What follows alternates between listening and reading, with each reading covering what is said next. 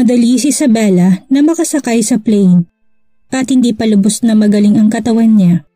Kaya hindi siya kumain ng dinner at maagang humiga matapos uminom ng gamot. Ang ilaw mula sa lamp at ang anino ng halaman sa courtyard ay sumabay sa ilaw ng buwan.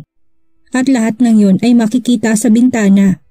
Biglang gumalaw ang handle ng bintana at gumalaw din ang kurtina. Biglang binuksan ni Isabella ang mata niya. Isang anino ang lumabas sa likod ng kurtina sa madilim na paligid. Sino yan? Inabot ni Isabella ang switch at pinindot. Sa mahinang dilaw na ilaw, nakita niyang mainit at gwapong mukha na sobrang pamilyar sa kanya. Sino pa ba bukod sa akin? Almaro McBride. Bakit hindi mo pa rin tinitigilan yung habit mo na umakyat sa higaan ng iba sa kalagitnaan ng gabi?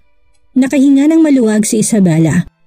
Hindi dahil sa hindi pa siya tulog, pero mababaw lang ang tulog niya. Kaya kahit maliit na galaw ay nagigising siya. Kusang humiga si Almaro, nagkumot, tumagilid. Inalalayan ng ulo niya gamit ang kanyang kamay. At mahinang ngumiti.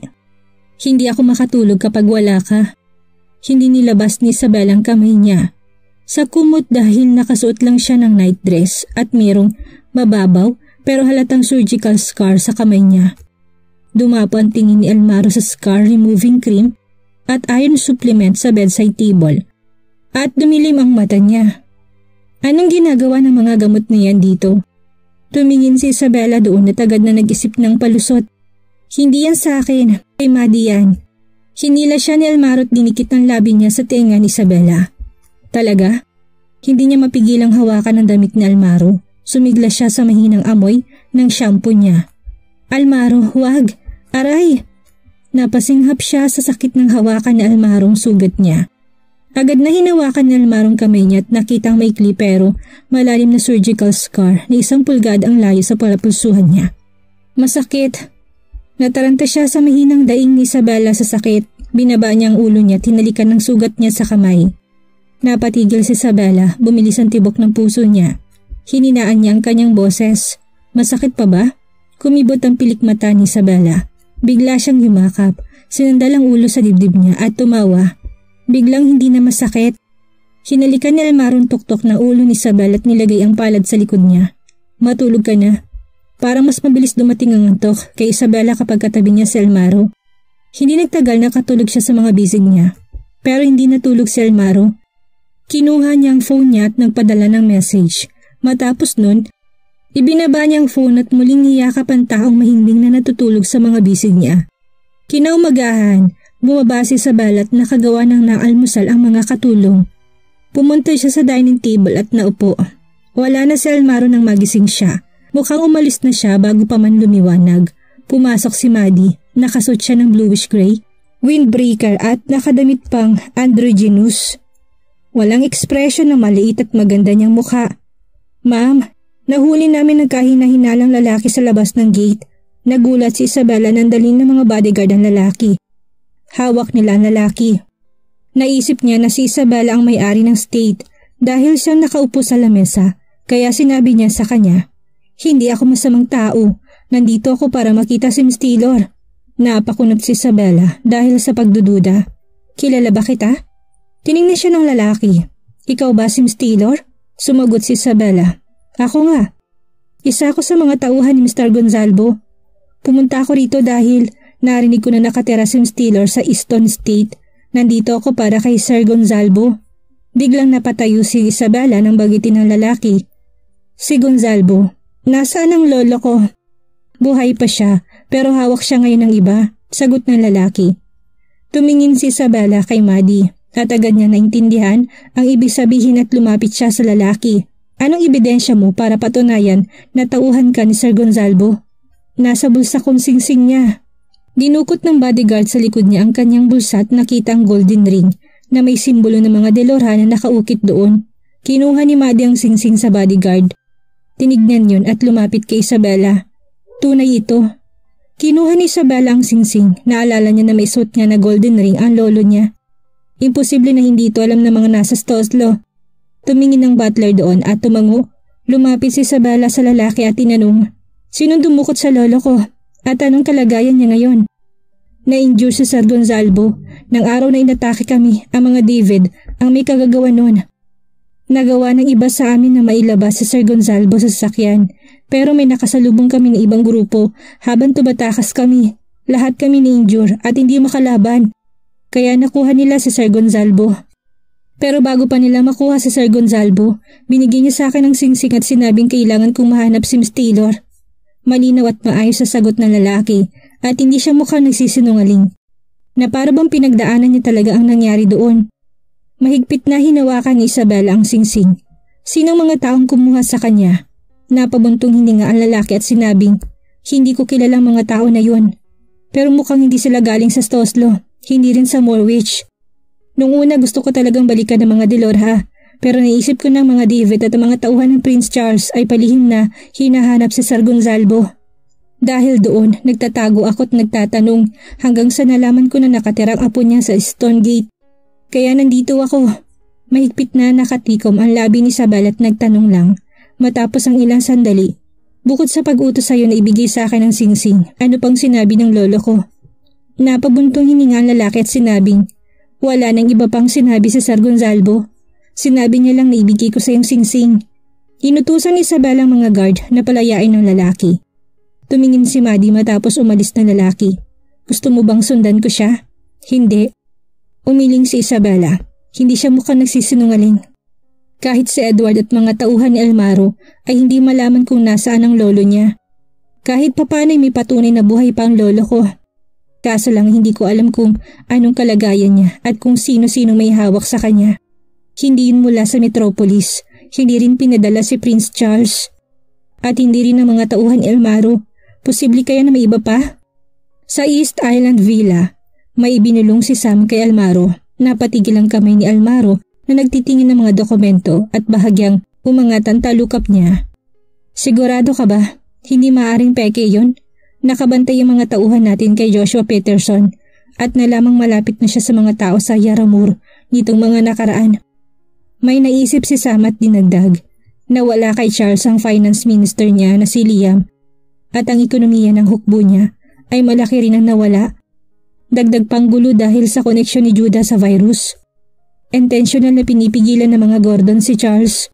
Hindi niya kaya yun na mag-isa at kung hindi siya nakakuha ng suporta mula sa Yara Moore, hindi siya magkakaroon ng pera para hawakan ang negosyo ng antibodies. Gumastos na malaking halaga ng pera si Charles para makuha ang mga kailangan sa pagde-develop ng vaccine. Dahil gusto niya rin pigilan ng malaking gulong ginagawa ni Judah. Kung tutuusin, naloko ng mga David ang publiko sa peke nilang bakuna. Nagalit doon ang publiko dahil may nagpapanggap na Solomon at gumawa ng vaccine. Paniguradong bibili ang mga taong naniniwala sa reputasyon ni Solomon. Kahit ano pang maging epekto ng bakuna, kahit na peke yon, ang taong haharap sa galit ng publiko ay ang totoong Solomon at hindi ang impostor. Pero kung totoo ang vaccine, malaki ang kikitain ni Charles at malilinis niya ang pangalan niya mula sa pagkakaroon ng relasyon sa mga David. Makukuha niya pag-iisikat at mayaman. Sa madaling salita, nakaplanong pagbabalik ni Charles sa vaccine.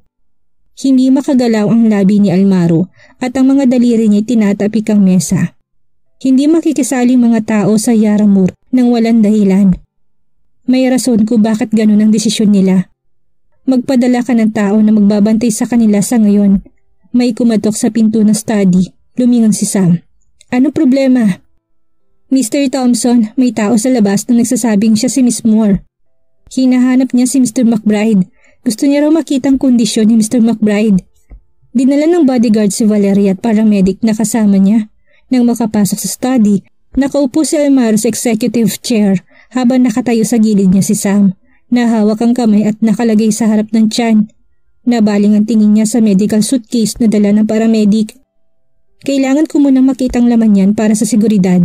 Ngumiti si Valeria, tumango at sinabihan ng paramedic na buksan ang medical suitcase niya. Walang ibang naroon bukod sa ilang syringe at gamot. Tumingin si Valeria kay Sam. Gusto ng teacher ko na kumuha ng dugo kay Mr. McBride para i-test. Baka maaring bigyan kami ni Mr. McBride ng dugo niya. Tinignan siya ni Almaro, hindi tumanggi sa sinabi niya at minginang sumagot. Sige.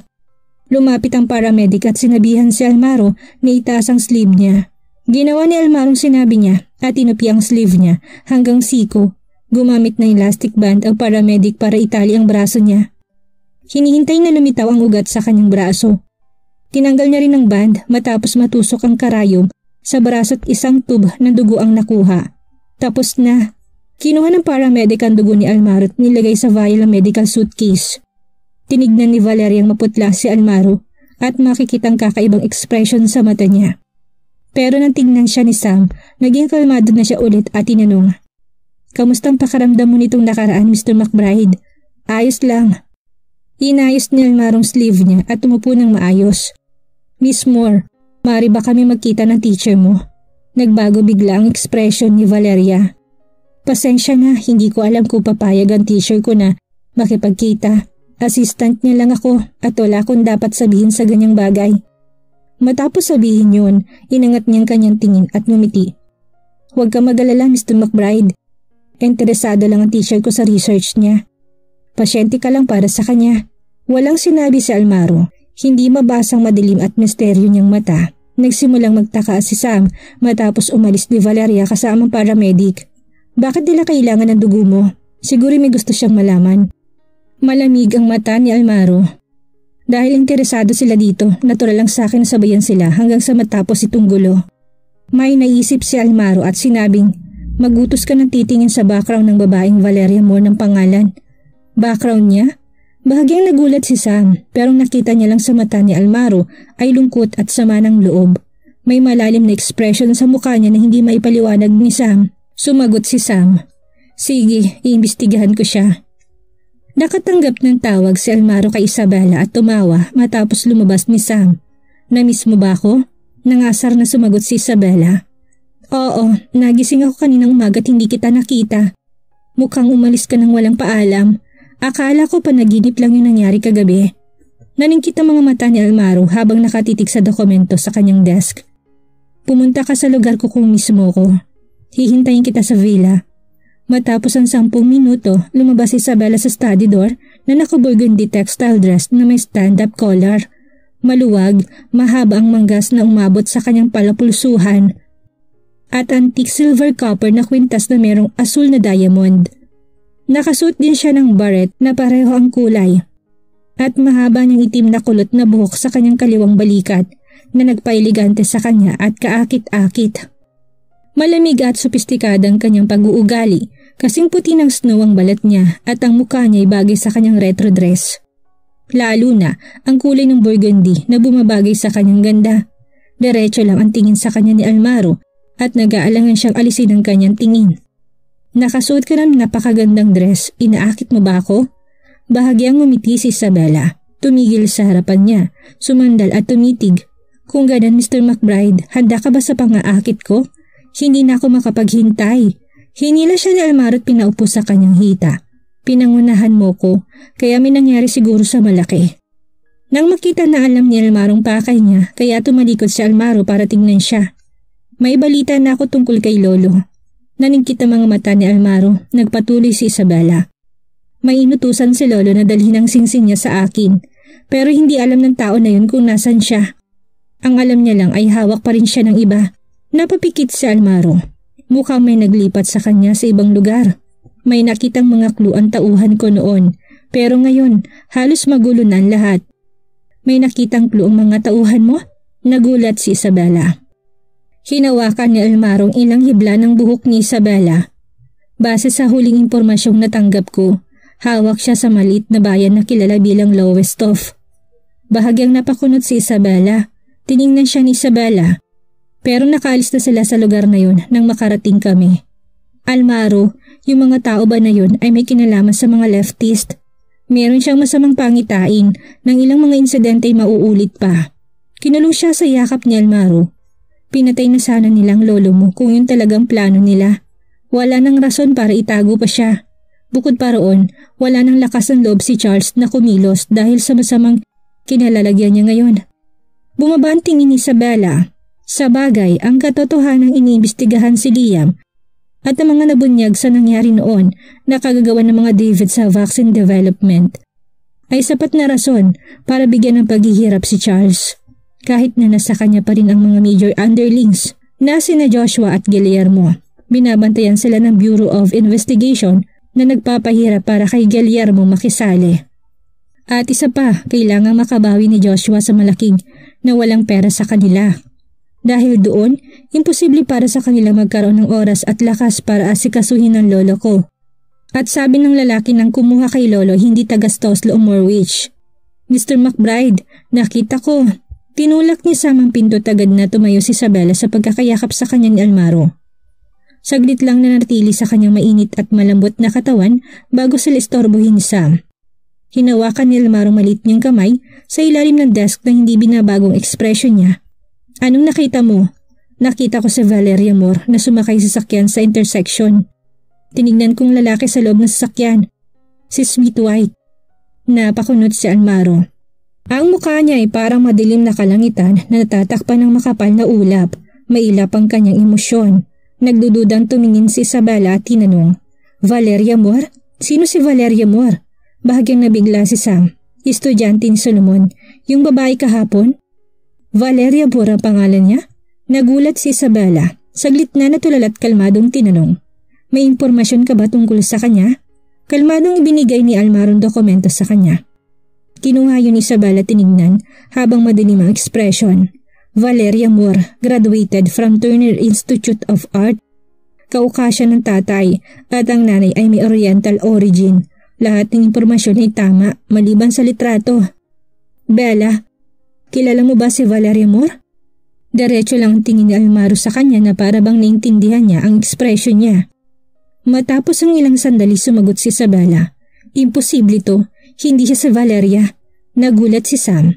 Tumingin siya kay Almaro at agad na tinanong, Miss Taylor, anong ibig mo sabihin? Hindi ba siya si Valeria Moore? Mahigpit na napatikom ang labi ni Isabella. Nakilala ko si Valeria Moore na nakatira pa ako sa Stoslo 9 years ago. Halo ang lahi niya mula sa East Eurasia. Ang tatay niya ay Caucasian, galing sa Sklokova at ang nanay niya mula sa Jakurari at may Oriental origin. Nakagraduate siya sa Turner Institute of Art at nag-internship sa Luxilia Inc. Pero hindi ganitong itsura niya. Valeria Moore. Maintindihan ko kung pareho lang ang pangalan at apelido pero ang pagkatao, background at impormasyong nakalagay sa dokumento ay katulad talaga ng kay Valeria. Ang pinagkaiba lang hindi ang kilala kong Valeria ang nakasalitrato. Ang muka, pag-uugali, hindi ko naramdaman ang katulad ng naramdaman ko kay Valeria mula sa memorya ko. Iba ang tunog ng boses niya at sa mata niya, ibang-iba talaga. Ang kilala kong Valeria ay may almond shape na mata at punong-puno ng emosyon at malalim. At sa Valeria na yon, meron siyang matalim na mata na nagpapakita ng matala, seryoso at malayong aura. Posible kaya na dahil sa plastic surgery? Tanong ni Sam, umiling si Isabella. Kahit na nagpa-plastic surgery si Valeria, imposible mawala lahat ng hawig sa totoo niyang itsura. Ang kilala kong Valeria ay nasa 5'2 ang height. Ang tinitignan nating Valeria sa litrato ay nasa 5'5 ang height kahit na hindi siya naka-heels. Naging pamilyar lang si Isabella nang banggitin ni Sam ang pangalan ni Valeria. Nang tingnan niya ang impormasyon, katulad yun sa impormasyon ng Valeria Moore na kilala niya 9 years ago. Na-assign si Valeria magtrabaho sa department ko intern siya sa Luxelia Imposible naman na maimali ko si Valeria sa iba kung makita ko siya sa personal. Kaya naman ang babaeng tong Valeria ang pangalan na hindi sa Valeria ang kilala ko. Nagulat si Sam. Hindi nga talaga nakasuot ng heels ang Valeria Moore sa picture at mukha siyang matangkad. Tinapik ni Almaron daliri niya sa mesa at mahinang sinabi. Ang makapal niyang makeup ay paraan niya para itagong bakas ng plastic surgery niya. Nakahalukip-kip si Isabel at biglang may naalala. Nang sinabi mo sa akin na tinitingnan mo ang mukha niya, eto bang ibig mo sabihin? Tumawa si Almaro. Kung hindi, sa tingin mo ba makukuha niyang atensyon ko sa ganyang mukha? Kumibot ang labi ni Isabel at walang sinabi. Mr. McBride, kung hindi siya si Valeria Moore, hindi ba yun malalaman ng tao sa paligid niya? Kahit na duman siya sa plastic surgery, malalaman nila dapat nila, hindi ba? Bumaba ang tingin ni Almaro kung gusto niyang pikain ang mga pagkatao nang hindi nalalaman ng iba, hindi niya kaya yun na mag-isa. Paniguradong may tumutulong sa kanyang iba. Sumandal si Isabella sa gilid ng desk. Sa bagay, hindi niya pwedeng dayain ng tangkad. Wala siyang patunay. Tinas niya ang kilay niya. Mukhang kailangan kong bisitahin ng Loxelia Paniguradong may impormasyon pa ni Valeria ang Human Resource Department. Gustong bang samahan kita? Nag-aalala si Almaro sa kanya. Naglakad si Isabella sa entrance ng study, huminto, humarap sa kanya at ngumisi.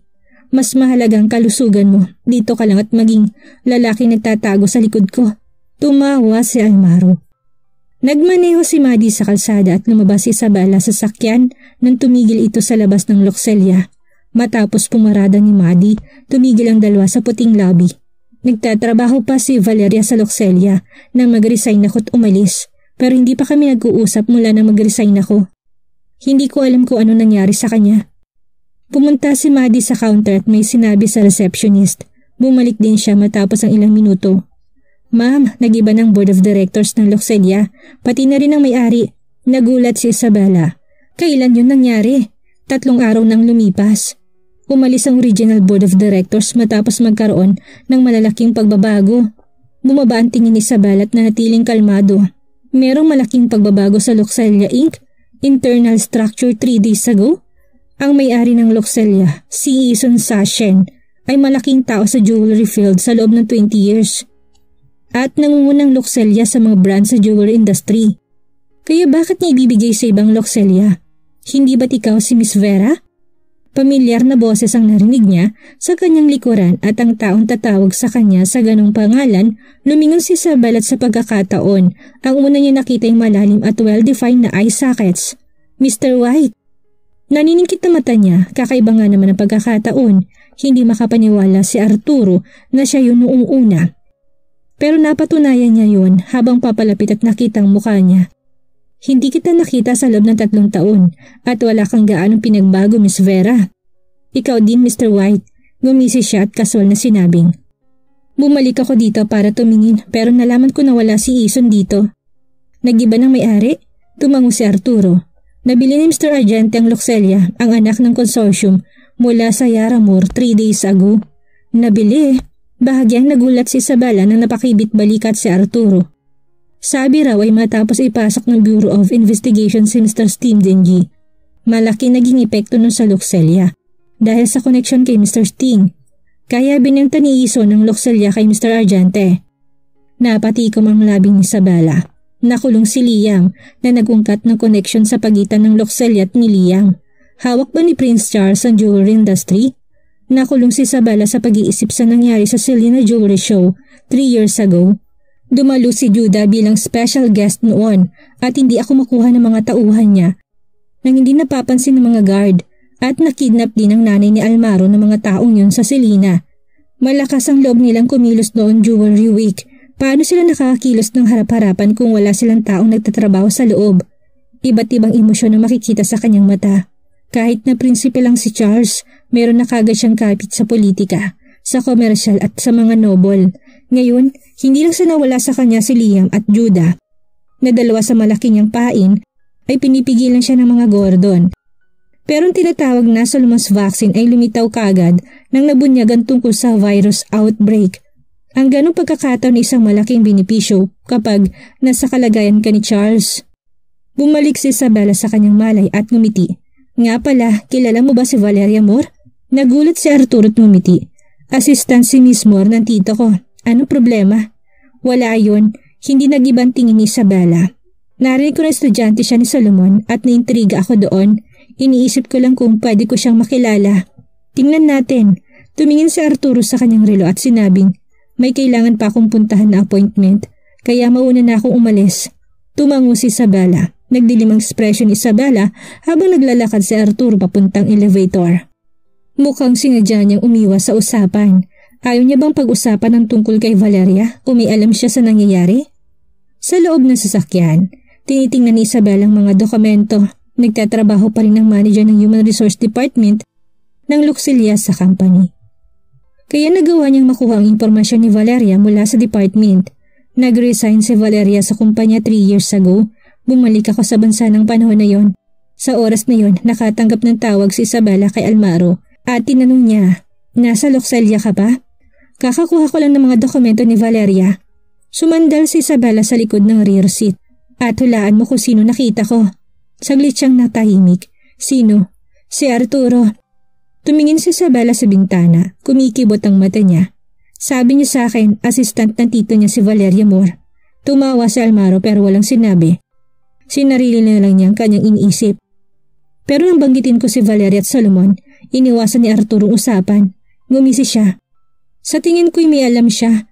May alam siya tungkol sa impostor na Solomon na nagre-research sa antibody. Bumuga si Almaro ng hangin na para bang naninigarilyo siya na sinabi sa mihinat na mamaos na boses. Base sa nalalaman ko, wala sa pamilya ni Arturo nag-aaral ng medisina pero may isang taong umalis sa kanilang pamilya, matagal nang lumipas. Napatigil si Isabella. Tito niya bang tinutukoy mo? Oo. Tumigil si Almaro at kalmadong sinabing, pero wag mo silang alalahanin. Tunay yung antibody. Gusto ni Charles na maayos ang reputasyon niya gamit ang antibody. Habang hindi ko naman ginamit kaya panalo pa rin. Infected siya kaya nakabanti sa kanyang media. Malaki ang epekto ng pagaling niya kay Charles. Walang gagawin si Charles sa kanya ngayon at walang ibang hihilingin ko hindi gumaling siya. Tiningnan ni Isabel ang dokumentong hawak niya.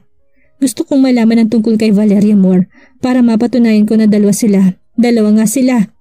Ilang abo ang bumagsak mula sa sigarilyo ni Almaro habang kalmado niyang sinabi. Hindi siyang Valeria Moore na kilala mo dahil may nalaman akong bago. Ha? Ang bilis mo. Anong nahanap mo?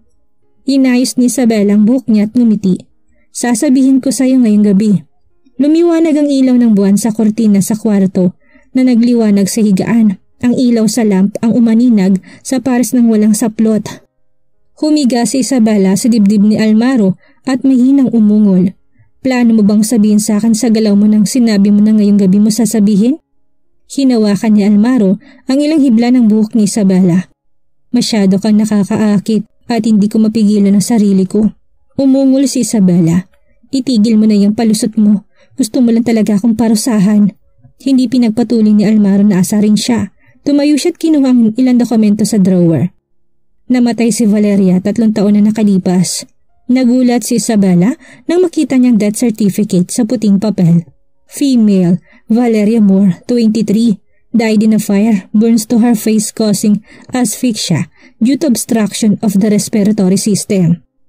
Namatay siya dalawang buwan matapos ang aksidente ni Isabella 3 years ago, nang ilang buwan lang matapos niyang mag-resign sa Loxelia. Tumingin si Isabella kay Almaro sa pagkabigla. Paano mo nahanap ang death certificate? Sumandal si Almaro sa headboard habang nakayakap sa bewang ni Isabella. May record ang ospital. Ang kailangan ko lang ay konting skill alam ni Isabel ang tungkol sa hacker skills pero hindi niya alam na kaya niya yon. Nagulat ka ba? Hinawakan ni Almarong gilid ng mata niya. Nag-aaral ako ng computer science sa university pero finance sa major ko. Oo, ang galing mo. Saan ako magaling? Nilapitan siya ni Almaro pero hindi sobrang lapit. Nakaramdam ng kiliti si Isabella kaya nagkibit balikat para makatakas. Ngumiti siya. Magaling ka sa lahat, hindi ba? Bumalik sila sa usapan ng tinanong niya. Kahit na hindi na-deklara ang pagkamatay ni Valeria, nag-file sanang pulis tungkol doon, hindi ba? Nakatitig sa Almaro sa mata niya. Wala talaga, hindi yun nakareport sa Registry of Vital Records and Statistics. At magbago ng plastic surgery ang itsura ng isa. Kung aalis ang isa sa social circle, walang makakaalam. Imposibleng magagawa yun isang tao. Maliban na lang kung may tutulong na may kakayahan. Sumandal si Isabella kay Almaro. Mabutit na patunayan nilang impostor si Valeria. Ngumiti si Isabella. Sa tingin ko may gusto sa'yo si Valeria. Napakunod si Almaro. Iniisip mo pa rin bang nangyari sa ospital? Hindi. Nagtaas si Isabella ng kilay at hinaplos ang Adam's apple ni Almaro. Interesado akong malaman ang intensyon niya. Lumapit siya kay Almaro at nagpanggap na kilalang impostor na Solomon. Kung yun ang plano nila, magkakamali siya balang araw. Hinawakan ni Almarong kamay niya at ngumiti. Magpapanggap ka na naman ba? Sayang naman at hindi ka naging aktor kasama ni Darius gamit yung acting skills mo. Yumuko si Almaro at madin siyang singil ng halik dahil binanggit niya si Darius. Nang nagkaroon na siya ng pagkakataong huminga, namumulang mukha niya't basa ang mata, mukhang naiinis. Meron nakakainis ng tao na gusto ako ibigay sa kanya noon hindi ko na siya pwedeng banggitin ngayon. Nagdilim ang mga mata ni Almaro at pumaibabaw kay Isabel at suminghal. Mukhang kailangan ko magtrabaho ng maayos para makalimutan mong sinabi na nakakainis na tao na yon. Kinabukasan, nang umalis si Isabella sa East Island Villa, dumating si Teofilo para sabihin ng lunch party kay Almaro. Kailangan mong dumalo sa lunch party kahit ano man ang mangyari. Tinulungan tayo ni Miss Moore at Solomon. Kailangan nating bayaran ng utang na loob na yon. Seryoso si Teofilo tungkol doon dahil nagtitiwala siya sa kanila. Isinara ni Almaro ang dokumento at hindi tumanggi sa kanya. Kung party yon, pwede bang pumunta sa Bella? Plano mo bang isama siya? Nang makitang mukha ni Almaro, walang magawa si Teofilo. Gawin mong gusto mo. Umalis na siya. Nakatayo si Sam sa labas at pinanood palayo si Teofilo bago pumasok sa study. Mr. McBride, hindi pa rin ba magandang tingin ni Elder Master McBride kay Miss Taylor? Alam mo naman kung gaano katigas ang matandang yun. Tumingin sa kanya si Almaro at ngumiti. Pero hayaan mo lang siyang umakto ng ganyan. Ginanap ang lunch party sa Regent Restaurant Pumasok si Almar at Sam sa private room at nakita si Valeria nakikipag-usap kay Teofilo. Tumingin si Valeria sa malamig niyang mukha. Kamustang kondisyon mo? Nag-aalala ang t-shirt ko? Mahinang umiti si Almar at tinanong. Kung nag-aalala siya, bakit wala siya dito? Ibinaba ni Teofilo ang wine glass niya. Oo nga, gusto ko makita siya ng personal. Wala ba siya rito? Saglit na nagbagong ekspresyon ni Valeria pero nanatili siyang nakangiti. Sinabihan ko siya pero wala siyang oras. Hindi siya makakadalo. Naintindihan ni Teofilo. Tiningnan ni Almarong message sa kanyang phone, ngumiti at nagtaas ng kilay. Kain na tayo. Tumigil si Sam at bumulong. Mr. McBride, hindi ba natin hintayin si Miss Taylor? Hindi ba't sinabi mong isasama mo si Isabella? Bakit wala pa siya rito? Sabi ni Teofilo. Hindi siya pupunta. Sinara ni Almarong phone niya at nilagay sa mesa. May hindi pagkakaintindihan sa ospital nung nakarang araw. Anong nangyari? Naningkit ang mga mata ni Teofilo. Saglit na tumingin sa almaro kay Valeria. Akala niya may nangyari sa amin ni Miss Moore. Nagulat si Valeria pero agad nawala yon at tumawa siya. Oh, yung babae ba na yon ang tinutukoy mo? Pasensya na, hindi ko alam na magkakaroon ng problema dahil sa nangyari. Sobra naman yan. Niligtas ni Miss Moore si Almaro. Nasaan siya ng malala ang sakit ni Almaro? Mukhang hindi masaya si Teofilo. Dahil divorced na kayo, dapat wala na kayong ugnayan. Kung nag-aalala siya sa'yo, nasa siya nang may sakit ka. Nang ma-hospital si Almaro, hindi nagpakita si Isabella. Kung hindi dahil kay Valerie at sa tinatawag na Solomon's vaccine, paano siya gagaling kaagad? Kahit na inosente si Isabella sa insidente 3 years ago, totoo si Almaro sa kanya.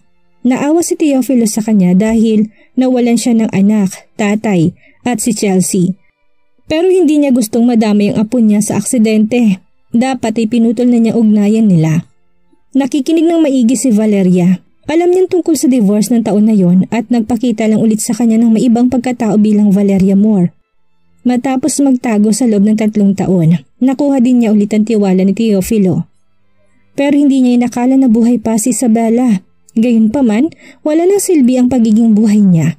Kung nagawa niya aksidente noon, magagawa niya ulit ngayon.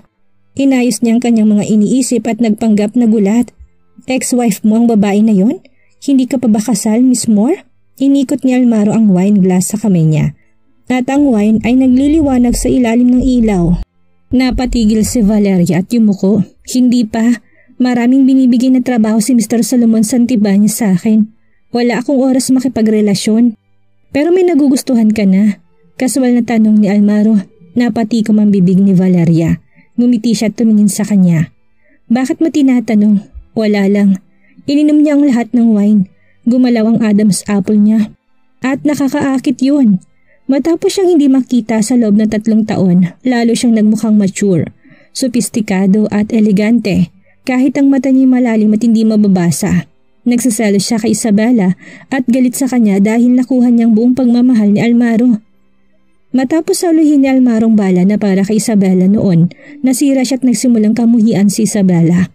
Handang mamatay ni Almaro para sa kanya. Dahil nakabalik na siya at divorce na sila, kung magpapagaling ni Solomon si Almaro, may iba kaya ang damdamin niya? Matapos kumain, naglakad si Almaro sa pinto at sinabi kay Sam, Ihatid mo si Miss Moore. Tumingin si Sam kay Almaro at nakitang hindi ito tumanggi. Kaya tumango siya. Inayos ni Valeria ang buhok niya at ngumiti. Huwag kang magalala, tatawag ako ng cab. Huwag ka nang mahiya. Hindi ka namin nahayaang magkab pagkatapos ka naming imbitahin. Hayaan mong ihatid ka nila. Lumingon si Valeria kay Almaro at Sam. Kung ganun, salamat. Samantala, ha, madilim ang tingin ni Jacob sa labas ng bintana. Mutated version ng virus na meron siya. At nasa late stage na siya. Namutla si Valeria at napakuyom ang kamay niya. Sinabi lang sa kanya ni Judah na sleeper virus yon, pero wala nang sinabing iba. Ang babae ang gusto niyang ma-infect, hindi sana masisirang mukha niya kung hindi dahil sa babaeng yon. At hindi rin siya tatratuhin ng ganoon ni Judah. Alam niya na hindi magiging maganda para sa kanyang manatili kay Judah. Kaya naman napagdesisyonan niyang umalis matapos gawin ang utos sa kanya sa Sklokova. Nakilala niya si Valeria at nalaman niya si Valeria ay estudyante ni Jacob nang wala na siyang mapuntahan. Kahit na lecturer siya sa Turner Institute of Art, dito rin siya ni Arturo at maraming alam tungkol sa medisina at mga virus. Nasa pareho pa silang klase ni Solomon. Kaya nagsimula siya ng apoy para nakawin ang pagkatao ni Valeria. Matapos isakripisyo si Valeria sa apoy, nagpanggap siyang miyembro ng pamilya at kinuha ang katawan niya. Matapos dumaan sa ilang proseso, dahil meron siyang alibay, hindi na siya tinanong ng pulis at pinakawalan. Hindi niya kinansel ang impormasyon ni Valeria at ginamit ang pera niya para sa plastic surgery. Lumapit siya kay Jacob bilang Valeria, isang taon matapos niyang gumaling. Naawa si Jacob sa sira niyang mukha at tinanggap siya. Hindi siya pinagdudahan dahil sinabi ni Valeria sa kanya lahat na naging buhay niya sa university. Natatakot siyang malaman ni Judah, kaya nanatili siya sa tabi ni Jacob. Matagal nang gustong malagpasan ni Jacob si Solomon sa medical research at hindi siya sumuko sa pag-research sa virus kahit nung nawala si Solomon. Nang mamatay si Judah, kumalat ang balita tungkol sa virus at personal na humingi si Charles ng tulong kay Jacob. Kinuha niya pagkakataon na yon para magmakaawa ng iligtas si Almaro. Kung may liligtas siya ni Jacob, magkakaroon siya ng pagkakataon. Pero bakit naging mali ang mga bagay na dumating ng pagkakataon niya? Sir, wala ka bang idea? Nababalisa si Valeria. Kinuha ni Jacob ang kahan ng sigarilyo sa mesa kumuha ng isa't nilagay sa labi niya at nagbukas ng lighter.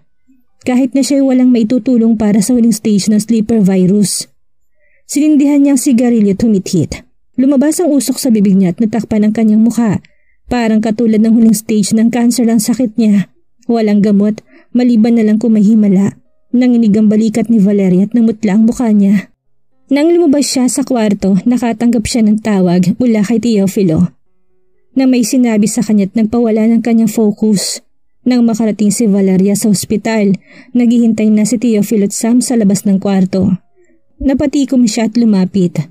Elder Master McBride, kamusta si Mr. McBride?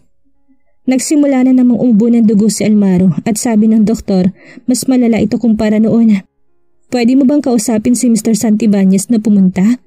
Hinawakan ni Valeria ang kamao niya. Kahit si Jacob ay walang solusyon, Paano ko siya kakausapin? Hindi, hindi niya pwedeng isukong oportunidad na to. Nagawa niya na maging malapit kay Almaro at nakuha ang atensyon ni Teofilo. Matapos pakalmahin ang sarili sabi niya, Huwag ka mag-alala, Elder Master McBride. Sabi ng teacher ko'y kaya lang natin na kontrolin ito, pero hindi siya mapapagaling nito. Para maiwasang magduda si Teofilo, dinagdagan niya. Nagsisimula na siyang gumawa ng ibang paraan dahil hindi ordinaryong sleeper virus ang nakuha ni Mr. McBride. Hindi siya mapapagaling ng normal na vaccine. Tumango si Teofilo pero matatagalan pa yon. Wala nang masyadong oras si Almaro. Kaya sana mahimok mo si Mr. Santibanez na magmadali, Miss Moore.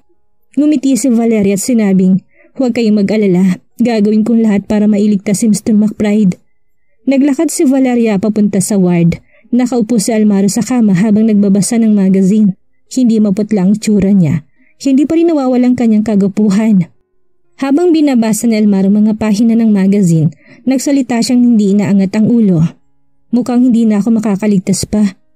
Huwag mong sabihin yan, Mr. McBride, sabi ni Valeria habang lumalapit kay Almaro. Nang dumating siya sa kama nito, kinagat niya ang mga labit sa kanagpatuloy. Gagawin kong lahat ng makakaya ko para mailigtas ka. Pangako, mamamatay ba talaga si Almaro? Hindi, hindi niya gustong barilin si Almaro noon. Sa sandaling tinutok niyang baril kay Almaro, pinagsisihan niya yun kaagad. Kaya naman si Isabella na lang ang pinuntirya niya. Kasalanan itong lahat ni Isabella na yon. Kung hindi dahil sa kanya, hindi sasaluhin ni Almarong bala at hindi sana magiging infected. Huminto sa pagbabasa si Almaro at saka kumunot ang noo. Hindi ko alam kung bakit pero may kutob ako matagal man akong kilala, Miss Moore. Natigilan si Valeria nang marinig niya ang sinabi ni Almaro. Sinara ni Almaro ang magazine, inangat ang ulo at tumingin ng diretso sa mga mata ni Valeria.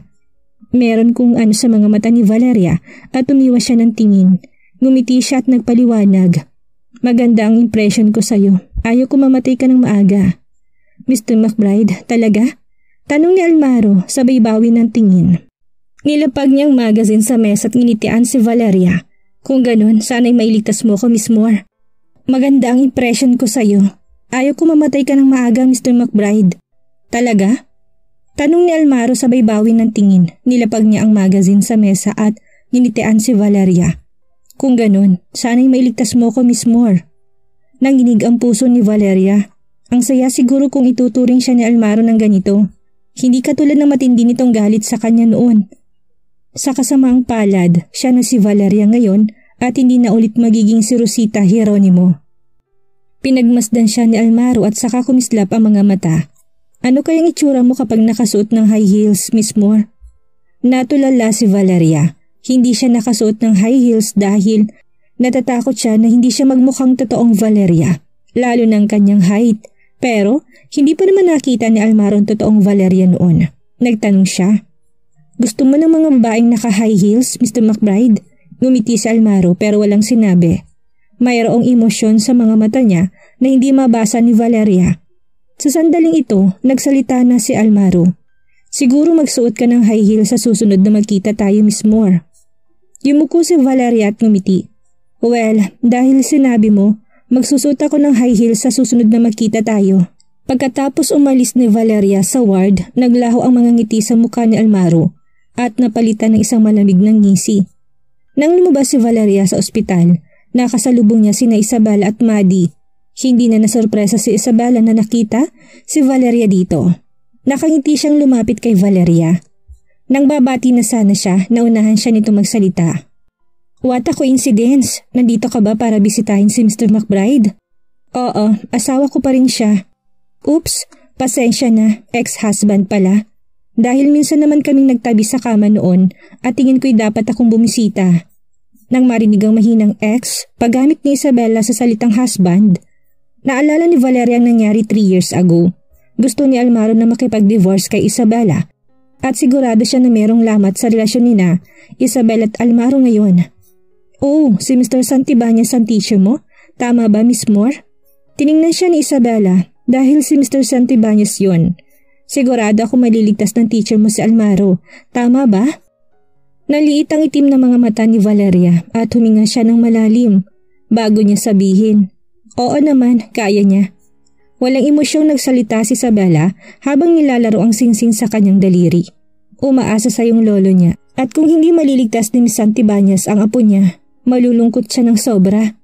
Nakikitang bakas na galit sa mga mata ni Valeria pero hindi niya inalis ang ngiti sa mukha niya at sinabing, mukhang nag-aalala ka pa rin kay Mr. McBride. Well, paano ko ba to sasabihin? Pagkatapos ng lahat, siya pa rin ang tatay ng mga anak ko. Kahit na nag-divorce na kami, kamag-anak pa rin siya ng mga bata. Tama? Inangat ni Isabella ang ulo para tignan si Valeria. Walang emosyon sa kanyang mga mata. Habang nakangiti, sumagot si Valeria. Oo, tama ka. Oo nga pala, nalaman ko na sa Loxelia ka nagtatrabaho dati. Nanigas ang ngiti sa mga labi ni Valeria nang marinig niya ang sinabi ni Isabella. Oo, ano problema? Pagkatapos marinig ang sagot ni Valeria, seryosong sinabi ni Isabella. Well, ang weird kasi, nine years ago nasa Loxelia ako pero hindi mo ako kilala. Mahigpit na napahawak si Valeria sa kanyang purse at sinubukan na hindi magmukhang kinakabahan. May nangyaring aksidente at marami na akong hindi natatanda ang mga nangyari at mga tao. Yumuko siya para tignan ang kanyang relo at dinagdag. Kailangan ko nang bumalik at makipag-usap kay Mr. Santibanyes. Mauna na ako. Pagkatapos niya magsalita, nilagpasan niya na si Isabella. Pinagmasdan ni Isabella si Valeria habang naglalakad ito palayot malalim na nag-isip. Nang dumating si Isabella sa ward, narinig niya nakikipag-usap si Almaro kay Sam. Mukhang mayroong sinasabi si Sam kay Almaro. Sabi nito'y nakikipagkita si Charles kay Mr. Argente, ang anak ng isang consortium sa Yaramur. Porsigido si Charles na mahila itong si Mr. Argente dahil sa financial power nito. Pagkatapos mawala ni Liam, halos lahat ng ari-arian niya kinumpiska ng royal family, haba ang kalahati naman ay binigay sa gobyerno. Bininopolyo ni Charles sa mga vaccines at binenta ng mababang halaga sa mga ospital at kahit mga noble sa kalapit ng mga bansa sa pag-asang magamit ang vaccines para pumabor sa kanya ang sitwasyon. Tiningnan ni Sam si Almaro at nagpatuloy.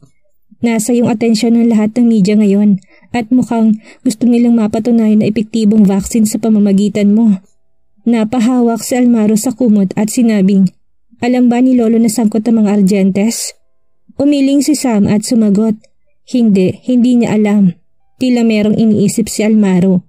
Pagkatapos lumingon siya at nakita si Isabella na nakasandal sa likod ng pader. Tumawa siya at nagtanong, Bakit ka nakatayo dyan? Lumingon si Sam at doon niya lang napansin si Isabella at Maddie sa pinto. Pumasok si Isabella sa ward. Ayaw ko maistorbo kayo, parehong nasa labas ng pinto si Sam at Maddie. Iniwan nilang dalawa sa loob. Tumayo sa tapat ng bintana si Isabel at saka tiningnan si Almaro. Alam niyang hindi ito nagpapanggap na may sakit ngayon.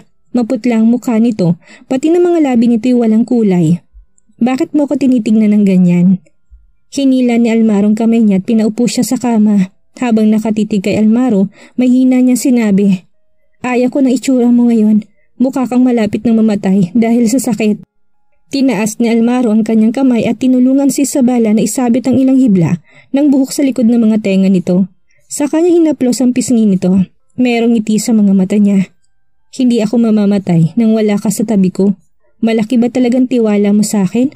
Sinandal ni Isabel ang mukha niya sa magaspang at mainit na palad ni Almaro pilit na tumawa. Mapapahiya ako na sobra kung ang bagong vaccine na ginawa ng Solomon na yon ay magawa kang mailigtas. Hinimas ni Almaro ang pilat sa kamay ni Isabela gamit ang kanyang hinlalakit sa kanagsalita. Oo, nagsayang ka lang ng dugo. Natigilan si Isabela. Paano mo nalaman? Bakit hindi mo hulaan?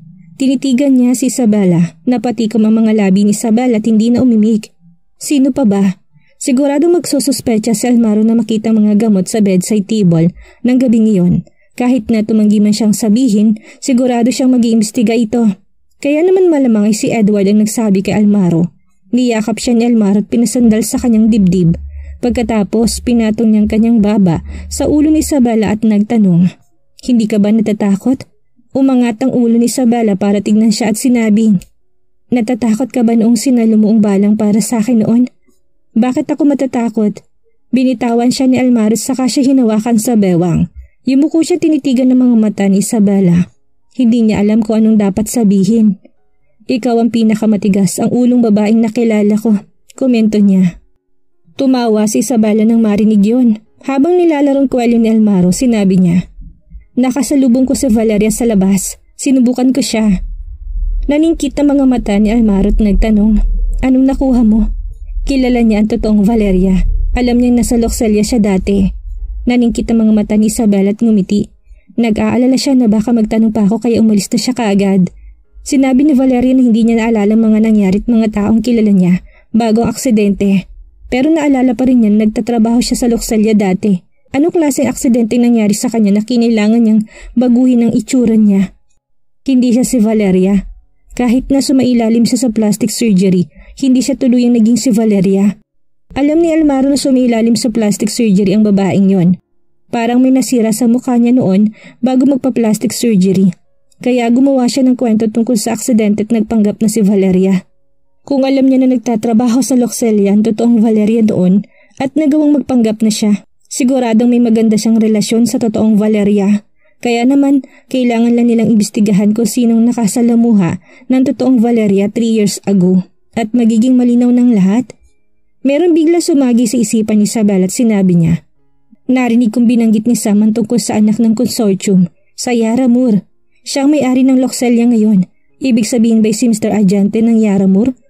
Ang bagong gatasan ni Charles ngayon? Tumawa si Almaro sa komento ni Isabel at sinabing, baka naman tumutulong lang siya. Paano ka naman nakasigurado? Bulong ni Isabella. Yumuko si Almaro at niyakap si Isabella. Galing siya sa mga arjente at may konting koneksyon sa mga McBride ang pamilya niya. May konting koneksyon? Ngumiti sa Almaro. Isa sa mga arjenteng lolo ko. Nagulat si Isabella. Isa sa mga arjente ang lola mo? Narinig niya na halos lahat ng tao sa McBride pero itong unang pagkakataon na binanggit ni Almaro ang tungkol sa lola niya. Dahil dito kung ayaw itong pag-usapan ni Almaro. Hindi rin siya magtatanong. Sa loob lang ng dalawang araw, alam na ng Nijan tungkol sa kondisyon ni Almaro. Sumugod silang lahat sa ospital at gustong malaman kung gumagana bang vaccine o hindi. Marami ring reporter sa labas ng Parliament building ng Stoslo pero nainis ang mga netizens at publiko sa walang ganang paliwanag ng taong lumabas. Bukod dito, naghihinalang publiko sa mga vaccines na ginawa ni Solomon at nakataya ang reputasyon nito. Mr. Robles, hindi ba't sinabi niyong walang problema sa mga vaccine? Isang boses ng lalaking umalingaw sa study room.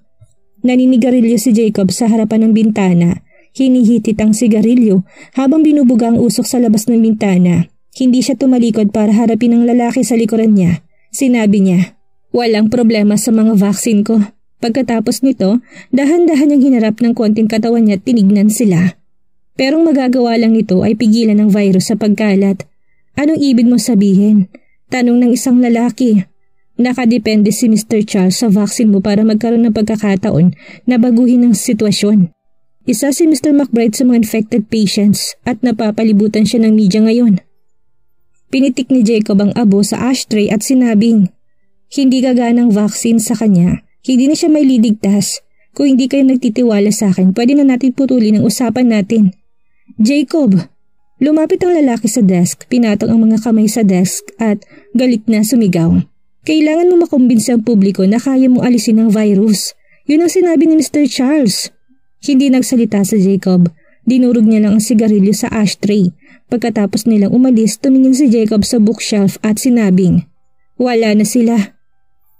Inalis ng lalaki nasa likod ng bookshelf ang kanyang sombrero. Nagliwanag ang exclusive Metropolis emblem sa kurbata niya ng isang hakbang na lang siya mula sa bintana kung saan nagmumula ang liwanag. Nagugulat talaga ako nagpapanggap ka pa rin. Habang nakaupo sa upuan, nagsalita si Jacob. Hindi ako katulad mo. Malinaw naman na meron kang kakayahan pero tumigil ka dahil sa isang babae. Hindi ka magpapakita kung hindi ko ginamit ang paraan na ito tama. Tumigil din ako dahil bigo ako noon. Sabi ni Solomon habang umuupo. Magkano binigay na pera sa'yo ni Charles? Hindi ko tinanggap ang pera niya. Naglabas ulit ng isang sigarilyo si Jacob pero hindi niya yung sinindihan. Alam ko kung anong hinahanap niya sa akin. Ang dahilan kung bakit ako pumayag sa gusto niya ay para palabasin ka. Solomon, pwede tayong magtulungan. Katulad ng dati. Gusto mong antibodies na nasa akin tama? Walang expression sa ni Solomon, natahimik si Jacob. Makikitang hiya sa mukha niya matapos makita ni Solomon ang kanyang intensyon. Pero wala siyang sinagot. Tumayo si Solomon at naglakad palapit sa desk. Pinatong niyang mga kamay sa desk at sinabing, Pwede kong ibigay sa yung mga antibodies pero kailangan mong ipangako sa akin ng isang bagay. Nasa labas ng study room si Valeria. Nang kakatok na sana siya sa pinto, narinig niya usapan sa loob ng study room at ikinagulat niya yun. Ang totoong Solomon ay si Herman ng Metropolis. Nasa kanya ang antibodies na makakapagpagaling kay Almaro. Bawat segundo'y mas lalong dumidilim ang itsura ni Valeria. Isang malamig na ngisi ang lumitaw sa sulok ng mga labi niya nang may maisip siya. Lagi may ibibigay na paraan ng langit. Kapag napasa kamay ko ang mga antibodies at maligtas si Almaro, pwede ko na siyang makasama. Nagpunta si Isabella sa apartment na nasunog 3 years ago. Nasa residential area ng Ambergate, street ang apartment na to. At karamihan sa mga taong nakatira dito ay galing sa Eurasia. Refurbished ng apartment building pero ginawang utility room ang apartment na yon dahil may namatay doon dahil sa sunog. Nahanap ni Isabel ang landlord at nagtanong, Meron bang kontak sa kahit na sino si Miss Moore na nakatira dati sa apartment na yon? katulad ng kaibigan o anuman. Nag-isip sandali ang landlord at sumagot. Oo, ngayong nabanggit mo, naalala ko na may sinama dati si Valeria na babaeng sira ang muka. Bihira ang lumabas sa apartment ang babaeng yun at kahit na lumabas man siya, nakabalot ang mukha niya. Yumuko si Isabella at nagtanong, meron ka bang kahit anong impression sa babaeng yun? Nag-isip sandali ang landlord at umiling. Wala naman, matagal na yun at hindi ko nakita ang mukha niya. Ang alam ko lang ay matangkad siya sa tingin ko galing din siya sa Eurasia. Hindi ako sigurado kung saan siya galing. Nanatili si Isabella sa koridor kahit umalis na ang landlord. Pagkatapos na sunog, naging utility room ng apartment na to. Kaya tanging koridor lang pininturahan ng maitim pa rin ng ikisame. Dahil sa usok, sirang mukha, nakabalot ang mukha posibleng galing Eurasia at nangyari sunod 3 years ago. Namatay si Valeria sa sunog at naging si Valeria ang babaeng yon. Nalingkit ang mga mata ni Isabella. Ninakaw niya bang identity ni Valeria dahil ayaw niya malaman ng ibang patay na si Valeria? O kailangan niyang identity ni Valeria para itagong sa kanya. Lumabas ng apartment building si Valeria at bumalik sa kotse. Si Maddie na naghihintay sa kotse lumingon at nagtanong, May nahanap ba kayo miss? Umiling si Isabella, bigla siyang nakatanggap ng text message mula kay Edward. Sabi ni Edward ay nagawa na ng bagong vaccine at ipapadala niya sa kanya bukas. Nagreply siya, Okay. Nagpunta si Isabella sa ospital nang dumating siya sa ward at bubuksan na sanang pinto Narinig niyang boses ni Valeria sa loob. Sumilip siya. Bukod kay Valeria, nasa loob din si Teofilo. Almaro, nakadevelop na ng bagong vaccine si Mr. Santibanez. Basta gamitin mong vaccine, gagaling ka na. Pagkatapos nito, nagtanong si Teofilo kay Valeria. Miss Moore, sinabi ba ni Mr. Santibanez sa'yo kung kailan darating ang vaccine? Ngumiti si Valeria at sumagot. Bukas. Nagulat si Isabel at nagdilim ang kanyang mukha. Nang lumabas si Valeria Teofilo ng ward, sinabi ni Teofilo kay Valeria, Miss Moore, salamat sa kasipagan mo nitong mga nakaraan. Kung meron kang kailangan sa susunod, sabihin mo lang sa akin. Gawin ng mga McBride ang lahat para matulungan ka. Ngumiti si Valeria. Elder Master McBride, salamat. Tinatanggap kong kabutihan nyo. Pero hindi nyo kailangan gawin yon. Gusto ko lang tulungan si Mr. McBride. Natigilan si Teofilo. Naintindihan niyang ibig sabihin ni Valeria pero hindi na siya pwedeng mangialam sa buhay ni Almaro. Sige kung ganon, pagkatapos umalis ni Teofilo, naglakad si Valeria papunta sa kabilang dulo ng koridor. Nilabas niyang kanyang phone at mayroong tinawagan. Tulungan mo ako sabihin kay Mr. Charles na alam ko na kung sino si Mr. Herman na galing sa Metropolis. Siya si Solomon. Meron sinabi ang tao sa kabilang linya at sumagot si Valeria. Walang intensyon sa Jacob na tulungan si Mr. Charles. Ako lang ang makakatulong sa kanya. Basta makuha ko lang ang vaccine Solomon at mailigtas si Almaro. Makukumbinsi ang publiko na gumagana nga ang vaccine. Ikaw nang bahala kung handa ka makipag-deal ngayon o hindi. Pagkababa ni Valeria ng tawag, umalis na siya sa koridor. Kasabay nito, lumabas si Maddie sa emergency exit at malamig na pinagmasdan ang taong pumasok sa ward. Nakaupo sa loob ng kotse si Isabella. Binaba niya ng konteng bintana at dumungaw sa labas.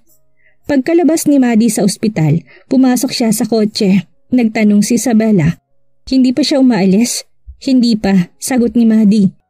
Miss, alam na ni Valeria ang identity ni Mr. Herman. Paano niya nalaman? Tinawagan ni Valeria mga tao ni Charles. Sinabi niyang alam niya na si Mr. Herman si Solomon. Nagawa ng bagong vaccine at gusto niya makuha yon. Mukhang merong mangyayari bukas. Napaisip si Isabella hindi niya inakalang malalaman niya ang plano na yon nang iwan niya sa loob si Maddie. Doon lalaki ang mga mata ni Isabella. Hindi na nakapagtatakang sinabi nito kay Teofilo na darating ang vaccine bukas. Aagawin pala nitong vaccine ni Solomon.